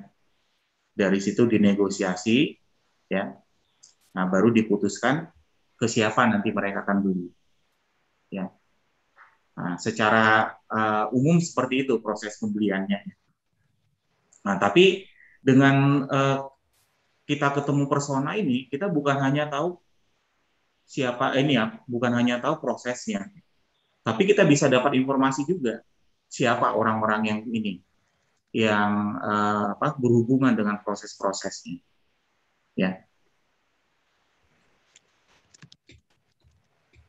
Oke, uh, ini saya lewati saja. Ya, ini tadi udah kita cover juga. Oke, okay. uh, eh, setelah kita apa dapat personanya, ya, nah, kita juga bisa identifikasi customer berikutnya. Ya. Customer berikutnya bisa dengan referensi. Ya, ini juga bagusnya uh, persona ini ya, uh, karena dia punya pengalaman di bidang itu dan biasanya di satu industri uh, itu ada komunitasnya juga, ya. Dan biasanya juga orangnya kadang muter di situ-situ juga nih. Ya. Mutar maksudnya pindah perusahaan tapi pindah pabrik tapi tetap di industri yang sama. Jadi mereka sudah ada network. Ya. Nah, identifikasinya ya kita bisa dengan referensi dari personanya juga bisa kita gunakan. Ya. Nah, ini ada uh, strategi untuk ini uh, untuk pertumbuhan ya. Ini umum sih ini uh, sering kita temuin juga sebenarnya di manajemen ya. Jadi kalau kita ingin uh, fokusnya ke market development, ya ini ke kanan, ini ke atas itu product development. Ya. Jadi kalau kita mau mengembangkan ya existing ya existing custom uh, existing produk di di current market ya di customer yang sama strateginya adalah penetrasi ya deepen ininya deepen penetrasinya. Jadi kalau katakan kita biasanya cuma jual barang A ya untuk customer yang satu ya ya kita tambah mungkin ya varian produk A yang tadi lebih banyak ya jadi uh, bicaranya adalah jumlah ya jumlah pembelian yang lebih besar dari customer yang sama ya penetrasi ke dalamnya. Nah kalau kita mau uh, produk yang sama tapi kita mau uh, kembangkan ke market yang baru ya ini bicara tentang market development. Jadi kita cari customer-customer yang baru di sini tapi produknya sama kita jual ya kita tawarkan sama produknya Nah, kalau ke atas ya marketnya yang sama, customer yang sama, ya bisa juga kita tawarkan produk baru. Ya, kita tawarkan produk baru. Ya. Nah, ini salah satu juga yang kami pakai waktu awal-awal pandemi kemarin ya. Jadi di bulan Maret kami banyak uh, konsolidasi juga di tim ya. Salah satu yang kita lihat itu uh, bicara tentang ini juga apa yang kita mau lakukan di sini. Ya dengan kondisi pandemi apakah kita mau cari customer baru atau mau fokus ke customer yang ada tapi penetrasinya yang kita uh, apa tingkatkan ya atau kita tambah produk baru tapi ini kita nggak pakai ini terlalu beresiko ya. jadi yang kami pakai itu ada tiga ini ada jalan ya tiga ini ada kami pakai. Oke Kemudian uh, yang tadi identifikasi customer ya. Jadi uh, setelah satu bisa tadi ya kita sudah hitung juga uh, apa potensi marketnya ya. Nah dari sinilah kita mau tentukan tadi customer berikutnya mau yang mana nih ya. Apakah di segmen yang sama sudah cukup besar uh, potensi marketnya untuk kita grab ya. Berarti kita bisa cari industri apa customer-customer yang di segmen yang sama ya tapi kalau misalkan hitungan kita, oh ini nggak nggak besar nih, ya. kebutuhannya nggak besar. Berarti 10 customer yang lain, ya mungkin di segmen yang beda. Ya, kita bicara segmen yang beda. Oke.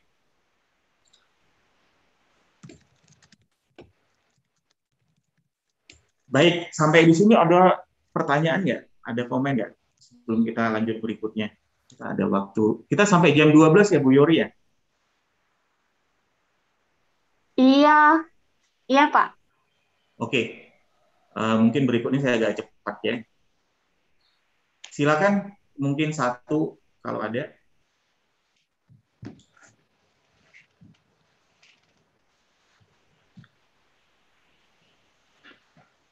Mungkin ada yang mau bertanya atau mau berkomentar?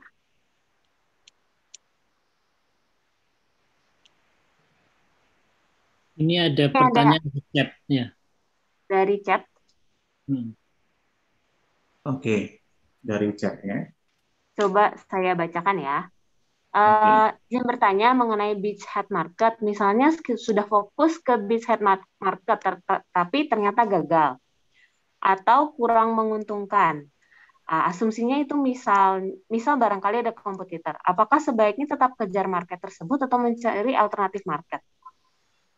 Oke, jadi uh, di sini ya kita yang identifikasi pertamanya tadi kan uh, market ininya potensialnya dulu ya potensial market yang ada di di customer tersebut ya. Jadi kalau bicara tentang market size-nya uh, cukup udah cukup sesuai dengan target kita gitu ya. Uh, ini kita bisa teruskan. Tapi kalau bicara tentang apa kompetitor ya. Misalkan ini apa uh, gagal karena kompetitor ya. Uh, di tahap ini ya kita belum karena kan kita belum ini ya belum launch produknya di sini ya. Kita belum bicara tentang penjualan di sini. Kita masih melakukan uh, survei dulu ya melakukan survei. Jadi di sini juga nanti kita akan pelajari juga uh, nanti di berikutnya ada ya di langkah berikutnya kira-kira apa sih yang diinginkan customer, apa sih yang sudah di apa diberikan sama kompetitor-kompetitor yang ada. Apa sesuatu yang beda ya, value apa yang kita bisa berikan ya. Nah, di sini nanti kita ada bicara juga tentang ini uh, value ini uh, proposition nanti. Ya. Seperti itu. Oh, ada Pak Rangga udah join. Ya. Iya, ada ada Parangga ya. Uh, Parangga itu pernah juga memberikan, saya rasa dua tahun yang lalu atau tiga tahun yang lalu ya. Parangga itu pernah juga memberikan kuliah seminar ya di MT, eh, eh, di material. Nah sekarang Parangga ini satu angkatan dengan Pak Vino gitu. Sekarang ini di Jogja ya Parangga ya, uh, dosen bisnis ya, bisnis dan manajemen di uh, UGM. Ya. Angkatan 98 juga. Halo Mbak Yorina, halo apa kabar semuanya? Pak Budi yang saya hormati, ada Halo, dengan Bapak-Bapak. Jadi uh, apa tuh masa material itu ada yang menjadi dosen bisnis ya? ada satu lagi Pak, Pak Taufik sebenarnya, cuma ada uh, beliau... dua Pak sebenarnya. Kemarin saya juga baru diinformasikan oleh uh, Pak Vino, jadi ada alumni kita Pak Taufik uh, Fatur Rohman ya. Nah. Itu di SBM malah, di SBM ITB. Betul ya, kolega saya juga itu Pak. Oh, yeah. Nah ini uh, terima kasih, sangat menyenangkan bisa bertemu Saudara Rangga dulu uh, pada waktu awal-awal MTM itu kami cukup sering berinteraksi ya karena kebetulan waktu itu saya sebagai sekretaris prodi ya. Iya betul Pak, saya ingat. Saya senang sekali. kita ke Jakarta Pak kurang lebih mungkin 20 20 kilo yang lalu ya Pak ya. Kalau 20 tahun sebetulnya 20 tahun. Juga, gitu. Luar biasa. Ya senang sekali bisa bertemu Bapak Aduh. lagi Pak. Ya. Tetap seger tuh. Ini uh, saudara Vino dan saudara Rangga ini dua-duanya masih seger nih. Ketemu masa terus Pak soalnya. Jadi dosa iya, iya. memang ya.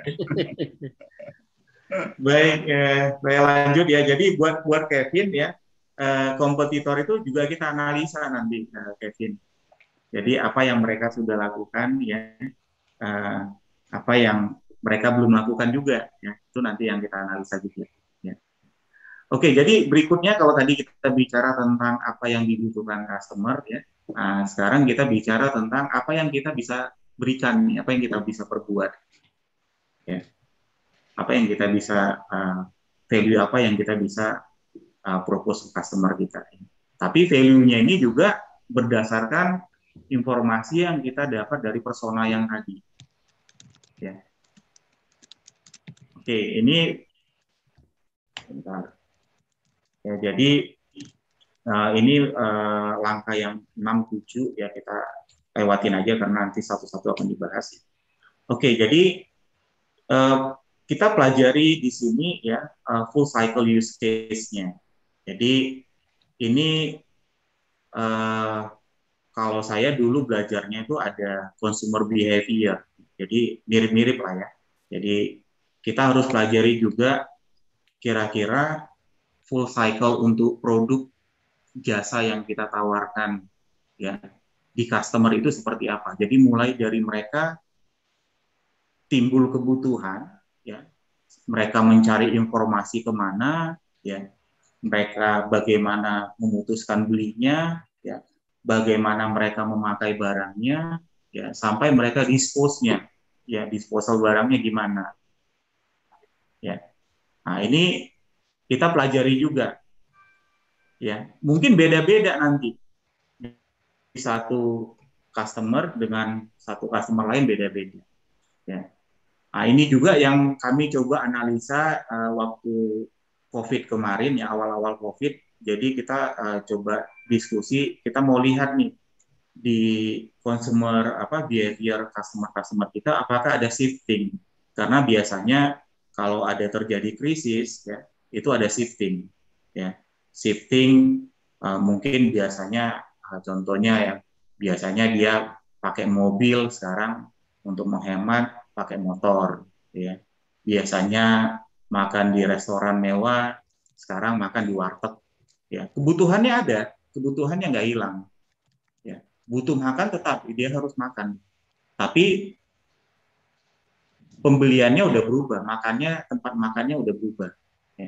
Nah, ini harus dianalisa juga. Ya. Oke.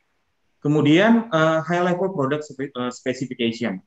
Jadi dari input-input yang kita dapat uh, dari persona, kemudian analisa kita tadi terhadap ininya uh, full life cycle-nya, ya.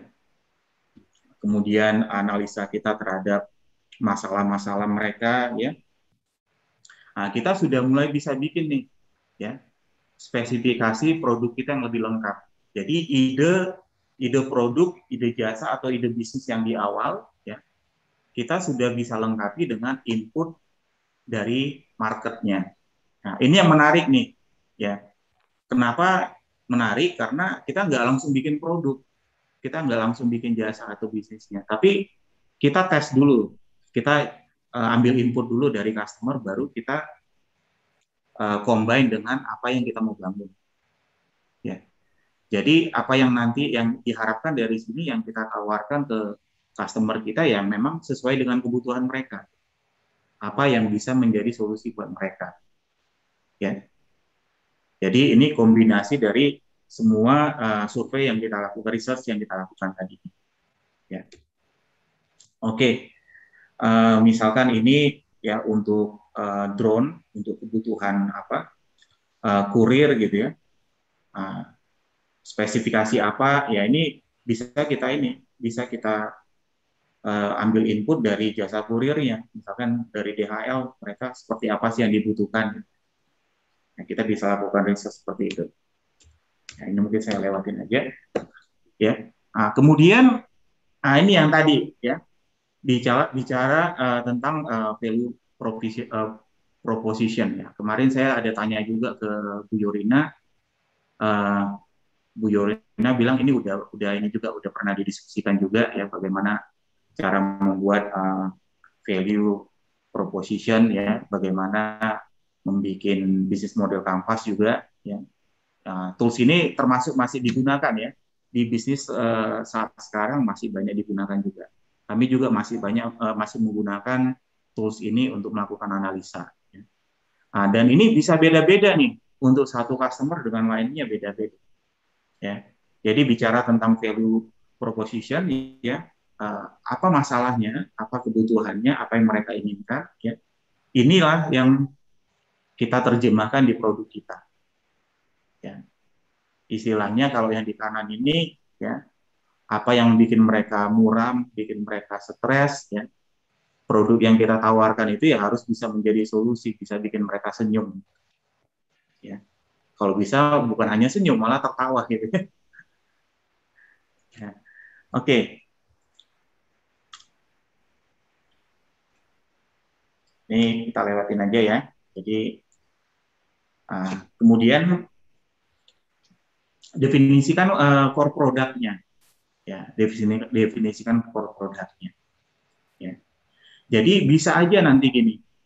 Uh, kita dari diskusi dengan persona tadi ya nah, kita dapat input macam-macam nih oh ternyata ada peluang yang lain nih ketemu peluang yang lain ya jadi awalnya kita mau bikin produk A gitu ya idenya itu ide bisnisnya itu bikin produk A gitu produk atau jasa A tapi dengan diskusi ternyata ada yang lain.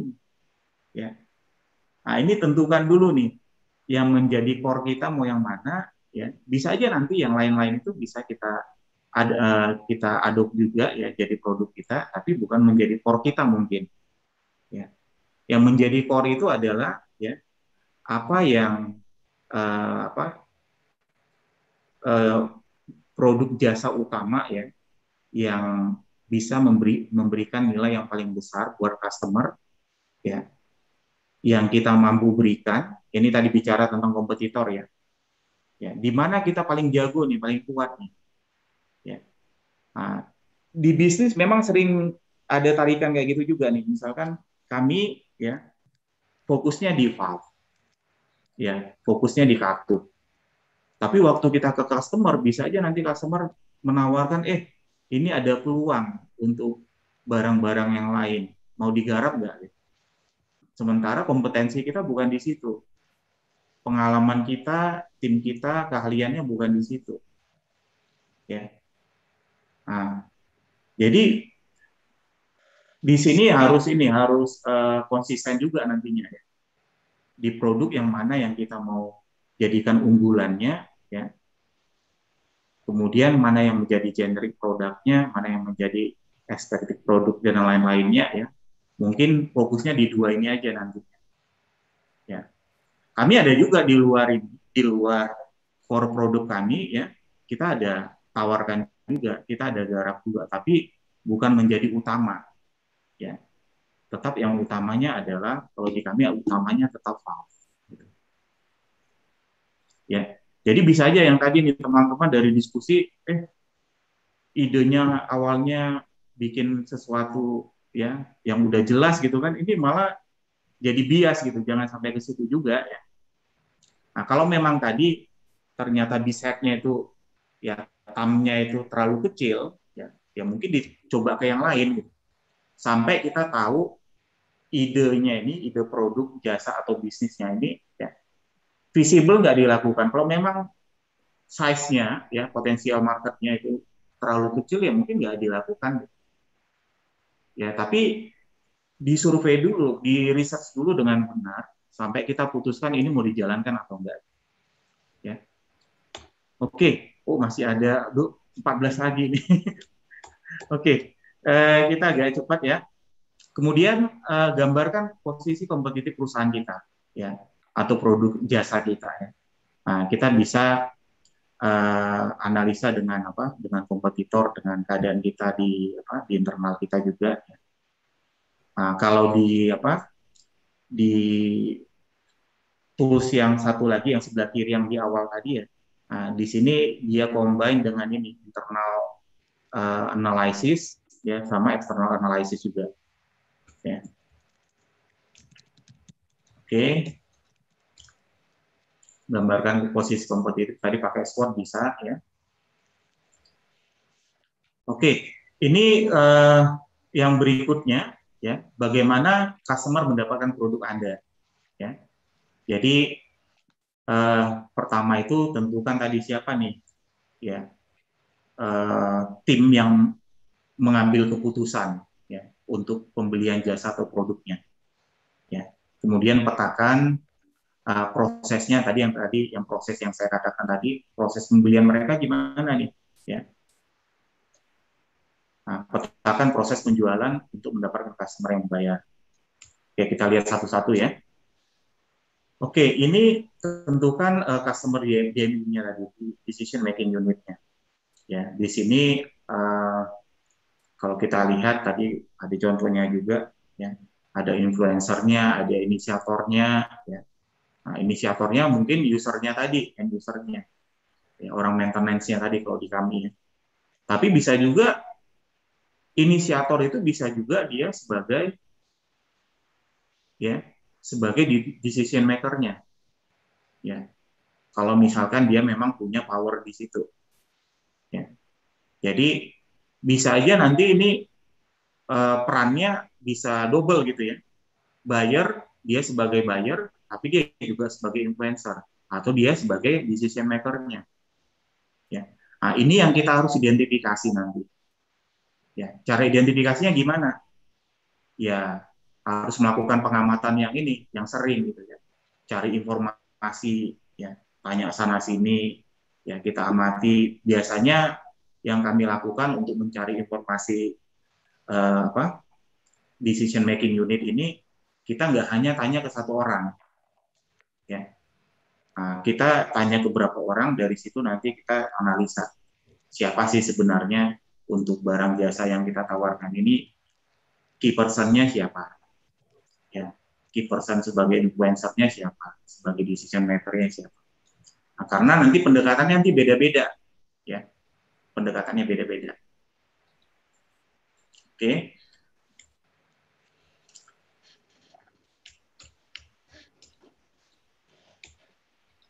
Oke, kita lewati di sini.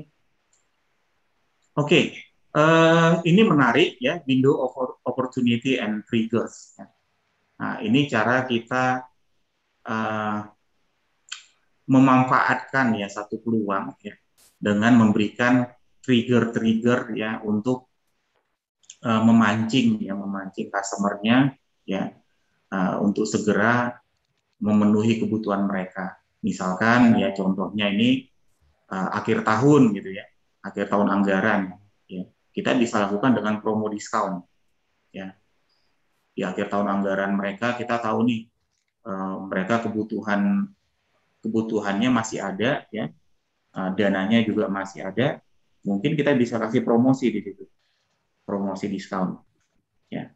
Atau uh, di tahun anggaran baru ya tahun anggaran baru biasanya kan banyak pembelian tuh customer customer yang lain juga banyak pembelian ya kita bisa sampaikan informasi ke customer-customer kita bahwa stoknya terbatas. Jadi siapa beli, ya siapa duluan beli, ya dia akan dapat. Jadi cepat-cepat belinya. Ya. Nah, ini lebih ke strategi ini sih, strategi sales marketing jadi di sini. Oke, kemudian petakan proses uh, mendapatkan customer yang mau bayar, ya paying customernya. Ya. Nah, jadi ini uh, proses customer acquisition-nya. Ya. Jadi setelah kita misalkan tahu nih uh, dari biset tadi, ya katakan dari research kita ternyata bisetnya ini oke okay ya, hasilnya oke. Okay. Dan kita putuskan bahwa kita mau cari customer-customer lain sejenis bisetnya nih. Ya. Nah, kita pikirkan gimana caranya. Ya, cara mencari customer-customer yang sama. Gitu Ya. Nah, ini beda-beda tergantung ininya ya uh, jenis uh, produk jasanya ya dan tipikal bisnisnya.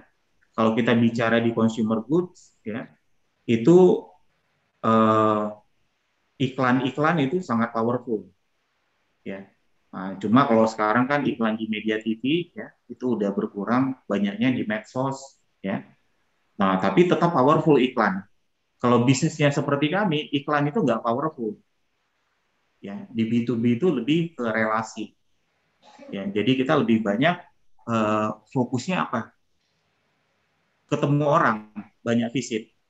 Ya banyak visit membangun hubungan ya edukasi uh, customer kita ya nah, jadi prosesnya mungkin beda-beda di sini. Nah, tapi kita harus tahu nih kira-kira untuk mencari apa uh, customer yang sama yang kita sudah petakan tadi ya misalkan bisnisnya yang sama ini kita mau uh, apa perbanyak ya, ya di mana nyarinya ya di mana nyarinya? Ya. Oke kemudian uh, ini sama ya saya langkai aja. Oke uh, berikutnya petakan proses ya penjualan untuk mendapatkan customer yang membayar. Ya. Petakan proses penjualannya. Gimana ya proses ininya? Uh, penjualan dalam apa jangka pendek, medium, ya sama long termnya ya untuk produk kita.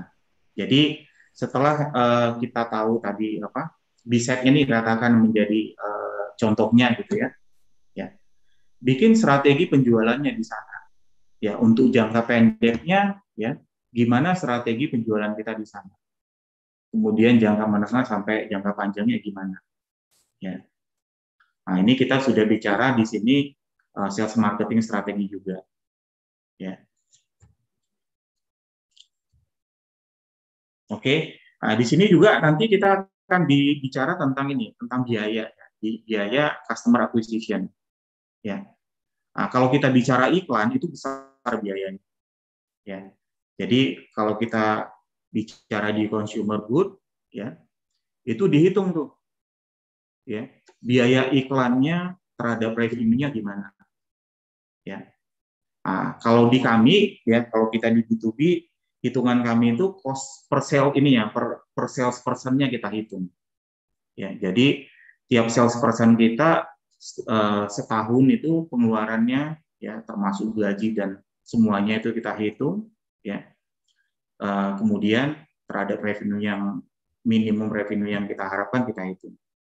Nah, termasuk juga kalau misalkan kita mau akuisisi satu customer tadi, ya. Uh, contohnya misalkan kayak di bisnis kami ya, ada customernya yang jauh misalkan. Kami ada customer di, contohnya di Sengkang. Sengkang itu dari Makassar, ya kita mendarat di Makassar, dari Makassar kita harus naik mobil 7 jam lagi tuh.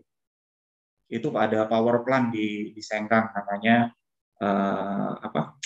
Saya lupa itu namanya. Sengkang Power Plant Nah, jadi itu kosnya pasti mahal kalau sekali kita visit ke sana ya. Itu kosnya itu udah mungkin bisa kena sampai pulang pergi untuk uh, dua hari ya bisa sampai 5 juta. 5 juta sekali jalan tuh, sekali visit. Ya. Nah, ini juga akan uh, kita harus ini harus identifikasi juga harus kita hitung juga ya oke kemudian berikutnya bagaimana uh, cara anda ini uh, mendapatkan keuntungan dari produk ya jasa yang kita tawarkan ya. Nah di sini baru kita mulai bicara tentang uh, mendesain ininya mendesain produknya ya. Di sini mulai mulai tahap awalnya. Jadi pertama itu bisnis modelnya dulu ya. Nah, kemarin juga dari Bu Yorina informasi bahwa teman-teman juga sudah latihan juga ya bikin bisnis model kanvas ya. Nah, ini sangat membantu ya uh, buat saya pribadi ya. Ini sangat membantu kalau misalkan kita mau lihat cost structure kita yang masih bisa kita ini kita bisa uh, tekan lagi ya. Jadi masa pandemi ini kami banyak melakukan penghematan ya. Caranya gimana? Kita analisa di sini cost structure ini. Kalau kita mau meningkatkan uh, sales kita, revenue kita ya, kita bisa fokus di sini nantinya. Ya. Nah, ini banyak-banyak ini manfaat dari sini. Oke. Gimana membangun bisnis modelnya? Bisnis modelnya ya tadi dari proses langkah-langkah yang sudah ada ya. Semua informasi itu ya kita tuangkan di sini. Ya. Oke, tinggal 10 menit. Ya, oke. Kemudian define uh, pricing framework-nya. Ya. Jadi dari uh, value proposition, uh, proposition-nya, kemudian dari uh, apa? Tadi uh, total market acquisition-nya juga kita hitung ya kemudian dari bisnis modelnya ini ya kita bisa uh, define juga nanti pricing kita bagaimana. Tapi pricingnya ini ya kita harus uh, compare juga. Ya ini makanya tadi penting persona tadi juga. Kita bisa dapat informasi ya kompetitor ya biasanya mereka rata-rata uh, beli barang itu berapa dari customer ini untuk barang jasanya ini mereka persatuannya mereka keluarkan berapa ya. Nah, itu bisa menjadi benchmarking kita nantinya. Ya. Oke, uh, ini mungkin banyak yang kita lewati ya waktunya ya. Kemudian hitung lifetime value-nya. Ya. Nah, lifetime value ini jumlah revenue yang kita bisa uh, targetkan dari setiap customer. Ya. Jadi uh, potensial ininya tadi yang TAM tadi ya uh, TAM tadi itu kita jumlah semuanya ya uh, dari semua customernya ya.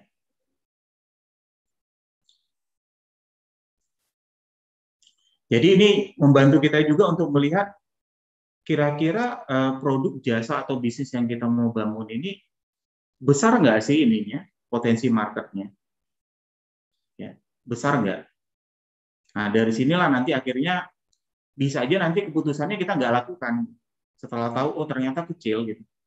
Ya kita nggak lakukan nanti ya oke kemudian uh, customer lifetime value ini nanti mungkin bisa kita akan ketemu dari 12 customer katakan ya.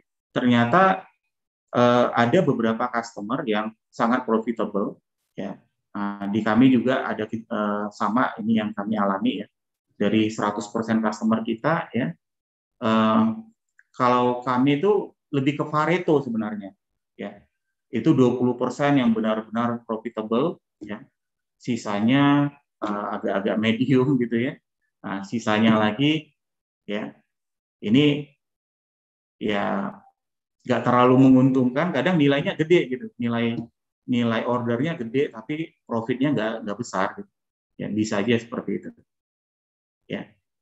Jadi modelnya ini ya eh, nggak di semua bisnis ya eh, berlaku ya. Yang kami alami berbeda oke hitung eh, cost of customer acquisition-nya ya ini tadi sama ya jadi di sini kita juga uh, membantu nanti ya. Jadi perhitungan ini akan membantu penyusunan budget kita.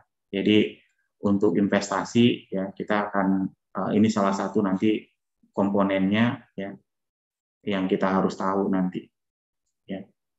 Jadi kita bisa proyeksikan ya. Jadi di bisnis plan itu ya kita nanti ada berapa proyeksi, misalkan proyeksi uh, revenue-nya selama setahun dari mana saja, ya, pengeluarannya apa saja, termasuk ini nanti salah satu komponennya. Ya. Oke. Ini sudah uh, mendekati terakhir ya. Uh, bagaimana Anda merancang produk Anda? Ya, nah ini kita sudah mau selesai ke MPV-nya nih ya ke MPV-nya. Jadi di awal bisnis ya seperti kami lakukan juga waktu kita membangun bisnis pertama kali itu banyak asumsi ya karena bisnisnya belum jalan ya bisnisnya belum jalan jadi masih on paper semuanya on paper ya asumsi-asumsi nah, asumsinya ini ya yang kita harus tes nanti. Pertama itu kita harus tes dulu ke customer ya. Jadi dari asumsi-asumsi itu kita tentukan dulu ya. Kita kumpulkan asumsi mana sih yang benar-benar uh, penting ya. Benar-benar strategis sekali yang menentukan ini perhitungan kita benar atau enggak ya. Misalkan asumsi tadi uh, apa kalau di kami itu asumsi uh, apa katakan penjualan satu orang sales ya. Satu orang sales bisa menjual berapa sih setahun ya. Asumsinya ini yang kita harus cek juga ya. Nah kalau di customer tadi misalkan asumsi untuk mengakuisisi satu customer ya. Benar nggak segitu biayanya? Ya. Nah ini yang kita kumpulkan asumsi asumsinya ya. Nah ini ada juga contoh eh, asumsi yang berbahaya nih. Misalkan asumsi kita sales people itu sales kita itu udah tahu ya industrinya dia udah tahu trennya gimana ya. Kemudian udah tahu jualan lah gitu. Ternyata enggak juga ya. Eh, di kami itu kalau ada sales yang baru ya enam bulan itu baru bisa menghasilkan. Jadi enam bulan ini cost nih ya. Enam bulan itu kita cost terus ya enam bulan baru dia bisa generate uh, profit ke kita. Ya. Jadi ada juga asumsi bahwa sales people itu tahu prospeknya, ya nggak juga kalau nggak kita arahkan, ya bisa ke mana-mana juga, malah ke customer yang bukan kita targetkan yang di follow up, ya. Nah jadi asumsinya ini yang teman-teman waktu tadi bikin ini, bikin uh, bisnis plan-nya, ya harus dikumpulkan semua asumsi dan diidentifikasi mana asumsi yang paling paling utama nih ya. Paling utama yang kalau kita salah ya asumsinya itu salah ini bisa mempengaruhi keberhasilan bisnisnya. Ya ini penting sekali nih asumsinya ini kita harus cek juga harus kita tes ya. Oke ini tadi sama ya. Kemudian nah, di sinilah kita ya mulai membangun ini MVP-nya. Ya. Jadi dari uh, input dari apa bisnetnya, personanya, ya, kemudian dari uh, kompetitornya, ya, dari apa value proposition yang kita mau bangun, ya. Nah, di sinilah semuanya kita tuangkan di MVP ini. Ya. Nah, MVP ini nanti kita uh, tes lagi ya.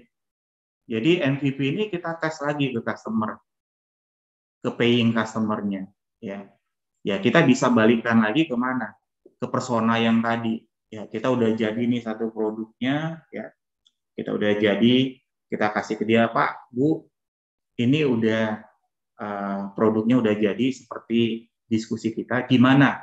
Ya kira-kira kalau bentuknya seperti ini ya rasanya seperti ini harganya seperti ini kira-kira bapak ibu bakal beli nggak? Ya. Nah kalau misalkan nggak dibeli gitu kan. Kalau dia bilang oh enggak masih kurang. Ya berarti harus ada yang diulang lagi prosesnya. Ya. Ada proses risetnya yang mungkin yang belum kita capture dengan baik. Oke, bagaimana Anda merancang dan membangun produk Anda? Ya, ini yang terakhir ya. Jadi setelah MVP-nya jalan, eh apa kita sudah buat MVP-nya, ya. Sekarang implementasinya nih, ya. Nah, gimana implementasinya? Oke, hitung total addressable market size-nya untuk follow-on customer-nya. Jadi setelah dominasi bisa-nya segera pertimbangkan follow-on eh, market untuk ekspansi. Ya. Nah, jadi setelah kita tadi udah tahu ya tadi yang sama ya kita mau ke kiri ke kanan tuh. Ya. Follow onnya ke mana nih? Follow onnya ke segmen yang sama atau ekspansi market? Ya. Kemudian sambil terus fokus pada bisnet, analisa uh, kemungkinan kapan Anda menang di mar, uh, di bisnet market tanpa terperinci uh, perhatikan apa ini perhatikan project berikutnya pasar yang mana ini sama ya bicara yang sama ya fokus ke yang berikutnya bagaimana ya. jadi setelah kita uh, selesai dengan bisnetnya ya MVP-nya apa sudah jadi ya Nah, kita tentukan juga ini mau dibawa ke mana lagi produk jasa kita.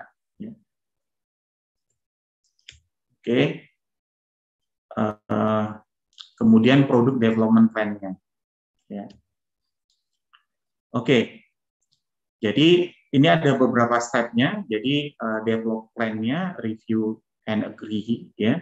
Di sini uh, launching prosesnya ya. Kemudian drive internal awareness, uh, generate partner awareness, drive market awareness. Ya. Jadi ini uh, tipikal pengembangan satu produk ya. Ini berbeda-beda sih ya, tergantung jenis produknya. Tapi ini tipikalnya prosesnya ini bisa uh, paling cepat itu enam bulan, ya. Paling lama itu bisa mencapai berapa itu 16 14 bulan ya 14 bulan ya oke kira eh, kira-kira begitu ya. Ini sorry uh, sebenarnya bahannya masih terlalu banyak sih ya. Jadi kita nggak bisa apa terlalu dalam ini bahas satu persatu ya. Nah, tapi nanti kalau teman-teman uh, apa mau diskusi lebih lanjut bisa kita ini uh, lanjutkan offline juga. Saya bersedia ya. Uh, bisa WA atau telepon juga ya. Anytime bisa nanti kita bisa diskusi. Baik, yang berikutnya sebenarnya ini kombinasinya. Apa bukan kombinasi ya? Bagaimana mengcombine ya? Mengcombine yang disiplin entrepreneurship ini dengan strategi frameworknya. Ya, ini yang tadi di awal saya sampaikan bahwa kalau yang disiplin entrepreneurship ini lebih ke produk market fit-nya, ya, gimana kita bikin produk yang benar-benar fit dengan market, ya. Nah, di sini bagaimana kita kita membangun internal organisasi kita. Dua-duanya harus jalan. Kita nggak bisa fokus ke kiri ya, ke kanan saja, ya, atau sebaliknya fokus ke kiri saja nggak bisa. Ya, nah, yang kami alami dua-duanya memang harus jalan Ya. Nah, cuma kalau kita bicara ini masih panjang. Mudah-mudahan ada kesempatan berikutnya kita bisa diskusi. Baik, uh, Bu Yorina, Pak Budi, mungkin uh, sampai di situ ini yang saya bisa sampaikan. Ya. Uh, mungkin kita bisa lanjutkan beberapa ini udah lewat waktunya ya, tapi terserah teman-teman kalau mau diskusi masih bisa. Ya. Mungkin uh, Pak Rangga mau berbicara sedikit soal Iya. Ya ini sudah sudah hadir ya kesempatan yang langka ini. Iya. Saya sebenarnya khusus Pak Pak Budi. Kenapa? Saya khusus undang Pak Rangga ini pengen pengen ini juga pengen dengar uh, apa komentarnya mungkin sama ini kaitan yang tadi itu Pak yang komunitas itu ya. Saya iya. pikir iya. kita perlu kumpulkan juga teman-teman yang kira-kira bisa berkontribusi nanti di komunitasnya. Gitu dan dan kemudian karena pelajaran ini sebenarnya pelajaran wajib sebenarnya nanti untuk ke waktu mendatang itu kita bisa bisa uh, desain khusus ya tel, jadi tailor made gitulah untuk untuk bisa uh, meng, me, melibatkan komunitas itu saya kira ide it's a very good idea ya silahkan yeah. Pak Angga kalau ada ada hal-hal yang mau disampaikan Baik, terima kasih Pak Budi untuk kesempatannya. Uh, izinkan saya juga ingin berterima kasih kepada sahabat saya, ini Mas Rovino ya, saya jadi ingat dulu kita main band bareng ya Mas ya. Mas Vino ini vokalis Pak. vokalis Jadi caranya ya. bagus ya. sampai sekarang, sampai sekarang di Nyambus Band. Ya betul betul dan dulu sering main, ya, main, main gitar di himpunan ya. Ya jadi memang angkatan kita banyak ya Mas Vino ya yang menjadi entrepreneur ya, yang menjadi pengusaha ya dan uh, dosen juga banyak ya. Salah satunya juga Uh, saat ini saya sebetulnya lebih kepada dosen di FEB UGM Pak, jadi mengajar bisnis juga. Nah kebetulan saya juga punya beberapa usaha nih ya, mungkin uh, saya lebih dikenal sebagai couplepreneur sebetulnya dengan istri saya gitu yang punya beberapa usaha juga gitu Pak. Tapi beda dengan Mas Vino, jadi kalau saya lebih banyak mungkin bergerak di industri uh, kreatif ya, uh, uh, stasiun TV, lalu kemudian ada film, film layar lebar, dan juga mungkin uh, novel dan lain sebagainya. Jadi uh, kalau di kampus tuh saya termasuk dosen yang dosen praktisi Pak Budi. Oh. Jadi dosen yang mempraktekkan apa yang saya ajarkan dan dosen yang mengajarkan apa yang saya praktekkan juga gitu. Jadi saya sering bawa uh, apa kasus-kasus bisnis juga di kelas dan salah satu motivasi saya datang hari ini ya saya pengen belajar juga nih dari dari Mas Vino ya dan jujur Pak Budi saya juga terus terang ingin berterima kasih nih ya pengalaman luar biasa saya selama waktu itu kuliah di teknik material ITB itu boleh jadi banyak yang kemudian uh, mengubah ya cara pandang saya ya. Dan banyak membantu sekali sebetulnya dalam terkait dengan entrepreneurship ya. Dan saya juga banyak sekali uh, terbantukan ya dari apa yang saya pelajari di teknik material itu ketika uh, saya mengembangkan bisnis dan juga mengajarkan bisnis ya di di di, di UGM ini ya. Uh, beberapa di antaranya mungkin ini ya yang tadi mungkin juga sudah sempat uh, disinggung sebetulnya ya. Uh, terkait dengan tadi design thinking ya kalau nggak salah Mas Vino ya tadi kan Anda juga uh, apa uh, pentingnya untuk berempati dengan customer dan lain sebagainya itu sebetulnya saya dapat filosofinya malah waktu saya di kuliah Pak Budi dulu waktu di teknik material ya. Jadi saya belajar tentang bagaimana seorang engineer itu bisa ya kita tahu ya kalau misalkan ada uh, alloy atau material seperti pesawat itu kan berat jenisnya pasti lebih berat daripada udara ya tapi kenapa akhirnya dia bisa terbang gitu ya atau mungkin kalau kita belajar termodinamika, kita belajar entropi gitu ya, mestinya kita nggak mungkin bisa bikin pendingin udara gitu ya. Jadi seorang engineer itu menurut saya memang punya sense yang yang itu sangat luar biasa kalau diasah dan kalau bisa dipakai dalam dunia bisnis menurut saya juga bisa sukses itu Pak. Salah satunya tadi itu eh, problem solving skill itu loh, kemampuan eh, seorang engineer itu untuk menangkap permasalahan. Ya terutama permasalahan yang dihadapi oleh customer. Tadi Mas Rovino kan juga men menyampaikan itu ya. Pentingnya kita untuk lebih dulu memahami permasalahan yang dihadapi oleh customer jadi uh, start from the end kita mulai dari tujuan akhir kita yaitu customer ya dan uh, bagaimana kita bisa menangkap permasalahan yang dihadapi customer itu yang kemudian nanti bisa kemudian dikembangkan menjadi solusi-solusi bisnis tentunya Dan ini saya dapatkan justru di teknik material Pak Budi waktu itu ya uh, tentang uh, apa namanya problem solving ini ya. Ya termasuk yang lain misalnya ketika kita belajar struktur mikro gitu ya. Meskipun ya terkesan mungkin hanya pakai mikroskop di laboratorium tapi sebetulnya pelajaran terkait dengan struktur mikro itu mengajarkan saya tentang helikopter view Pak untuk melihat sesuatu dari perspektif yang lebih luas, perspektif yang lebih uh, besar gitu ya. Dan itu jelas suatu perspektif yang saya rasa juga pasti sangat dibutuhkan sekali dalam mengembangkan uh, bisnis. Dan uh, saya banyak belajar dari sesi hari ini Mas Rofino ya. Terima kasih tadi buat ilmu-ilmunya mungkin itu Pak Budi ya. Ya. Terima kasih. Mungkin Ibu Yurina uh, mau me, melanjutkan menutup atau bagaimana atau pertanyaan? Oke, uh, ini sudah jam 12 ya, lebih. Nah, mungkin uh, untuk uh, diskusi mungkin uh, saya minta waktunya dari teman-teman uh, dari mahasiswa. Mungkin kalau ada yang ingin bertanya saya boleh mungkin satu pertanyaan ya kalau ada yang ingin bertanya bisa raise hand atau bisa lewat chat silahkan uh, saya berikan waktunya tapi kalau memang tidak ada yang ingin bertanya lagi mungkin kita bisa tutup dengan uh, mungkin kita bisa foto bersama ya Pak Budi ya Oh, atau okay. bagaimana? Iya iya bagus bagus. Tapi bagus. saya minta tolong, tapi saya minta tolong Pak Budi karena saya ya, ya, ini memakai ya. handphone okay, okay. jadinya. Iya. Oke, okay. mungkin mahasiswa bisa uh, kameranya on. Uh, sebelumnya sebelum kita ngobrol bersama, saya sambil mempersiapkan gitu, saya ingin berterima kasih kepada uh, Pak Rangga ya dengan Pak Vino juga. Pak Vino, uh, terima kasih banget waktunya. Terima kasih karena saya juga ini request yang tiba-tiba ya kepada Pak Vino untuk menyampaikan materi dan juga untuk para yang sudah menyampaikan hadir di ya. uh, sesi ini, kuliah tamu ini. Untuk para mahasiswa, tolong uh, kameranya di-on-kan, ya. Kita bisa foto bersama. On. Ya, kameranya lagi, di-on-kan, ya. Saya lagi di luar, maaf. Ya, ya, nanti saya yang saya akan uh, foto. Ya, ya, ini kesempatan mungkin. yang langka ini dengan foto dengan alumni ini kan.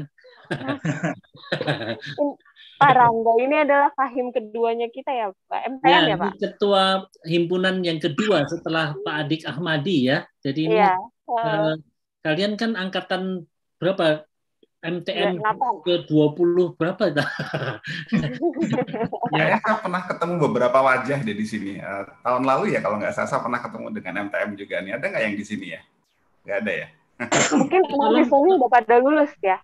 Iya, silakan yang belum di on kan uh, tolong on-kan uh, kameranya ya supaya kita bisa foto bersama. Tapi mungkin sudah ada yang tidur barangkali saya tidak tahu. keuntungan dari online ya. Oke lah kalau begitu saya akan akan foto ya. Baik ya. Ini ini ada tiga halaman. Jadi saya akan foto halaman pertama. Satu, dua, tiga. Ini sekarang halaman kedua. Ya, satu, dua, tiga. Ya, sebentar. Satu, dua, tiga. Halaman ketiga. Iya, satu, dua, tiga. Iya, oke. Okay.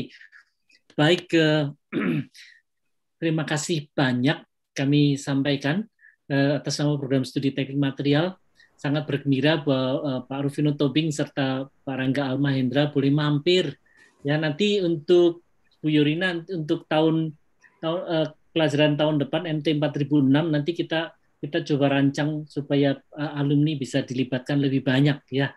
Uh, terus terang saya saya juga saya terus terang baru tahu Pak Rangga ini uh, di UGM tahu gitu kan dan kemudian nanti nanti kita rancang bersama. Tapi memang betul bahwa di dalam kuliah itu sebenarnya dalam kuliah ini banyak workshopnya. Walaupun online tetapi banyak tugas-tugas termasuk termasuk juga tentang customer value change analysis, kemudian juga uh, business model generation, customer value proposition, uh, value proposition design, hal-hal seperti itu. Dan dan mereka juga sempat presentasi mempelajari startup company ya. Jadi banyak tugas-tugas yang yang uh, sifatnya mandiri karena sebenarnya Bu Yurina dan saya ini walaupun ditunjuk sebagai uh, pengampu tetapi sebenarnya kan uh, kami ini lebih bersifat fasilitator, bukan bukan pengajar, tetapi facilitating ya, facilitating untuk belajar ya. dan mereka pandai-pandai ini. Saya saya senang ya dari presentasi-presentasi mereka ini uh, kreatif dan dan apa itu uh, senang tantangan ya ini mengembirakan ya. Baiklah kalau begitu sekali lagi terima kasih untuk uh, Pak Vino dan Pak Rangga buat kehadirannya. Jangan kapok. Jangan kapok untuk ya, terima kasih Pak ya. Budi. Uh, dan juga jangan jangan jangan juga uh, nanti kalau ada mahasiswa yang kontak-kontak ya jangan ditolak gitu karena mereka mau belajar dari para pakarnya ini yeah. entrepreneurship ya. Baiklah. Ya, terima kasih Pak. Nah, saya juga minta maaf kalau misalkan ada persiapan yang kurang ya terus terang masih kurang sih persiapannya. mungkin mungkin nanti barangkali waktunya harus lebih banyak lebih iya. banyak kan bahannya sangat kaya saya saya sendiri saya pribadi sangat eh, saya belajar ya karena saya belajar eh, saya sebenarnya Eh, dalam kelas ini saya sebenarnya ikut belajar dari mahasiswa dan dari Anda semua. Ya, terima kasih. Oleh sebab thank itu you. kita selesaikan teman-teman semuanya. Thank you. Ya, yeah. kita selesaikan uh, pertemuan kuliah kita pada siang hari ini dan ini adalah yang terakhir. Nanti hari Senin mereka take home test, test dan kemudian selesai. Ya, oke. Okay. Baiklah kalau begitu terima kasih banyak. Saya akan kalau gitu saya akan uh, end the meeting ya. Terima kasih. Thank you Pak Rangga. Terima kasih Pak Vino, Pak Budi, Mbak Yorina, dan teman-teman semua. Salam ya. metal. Salam metal.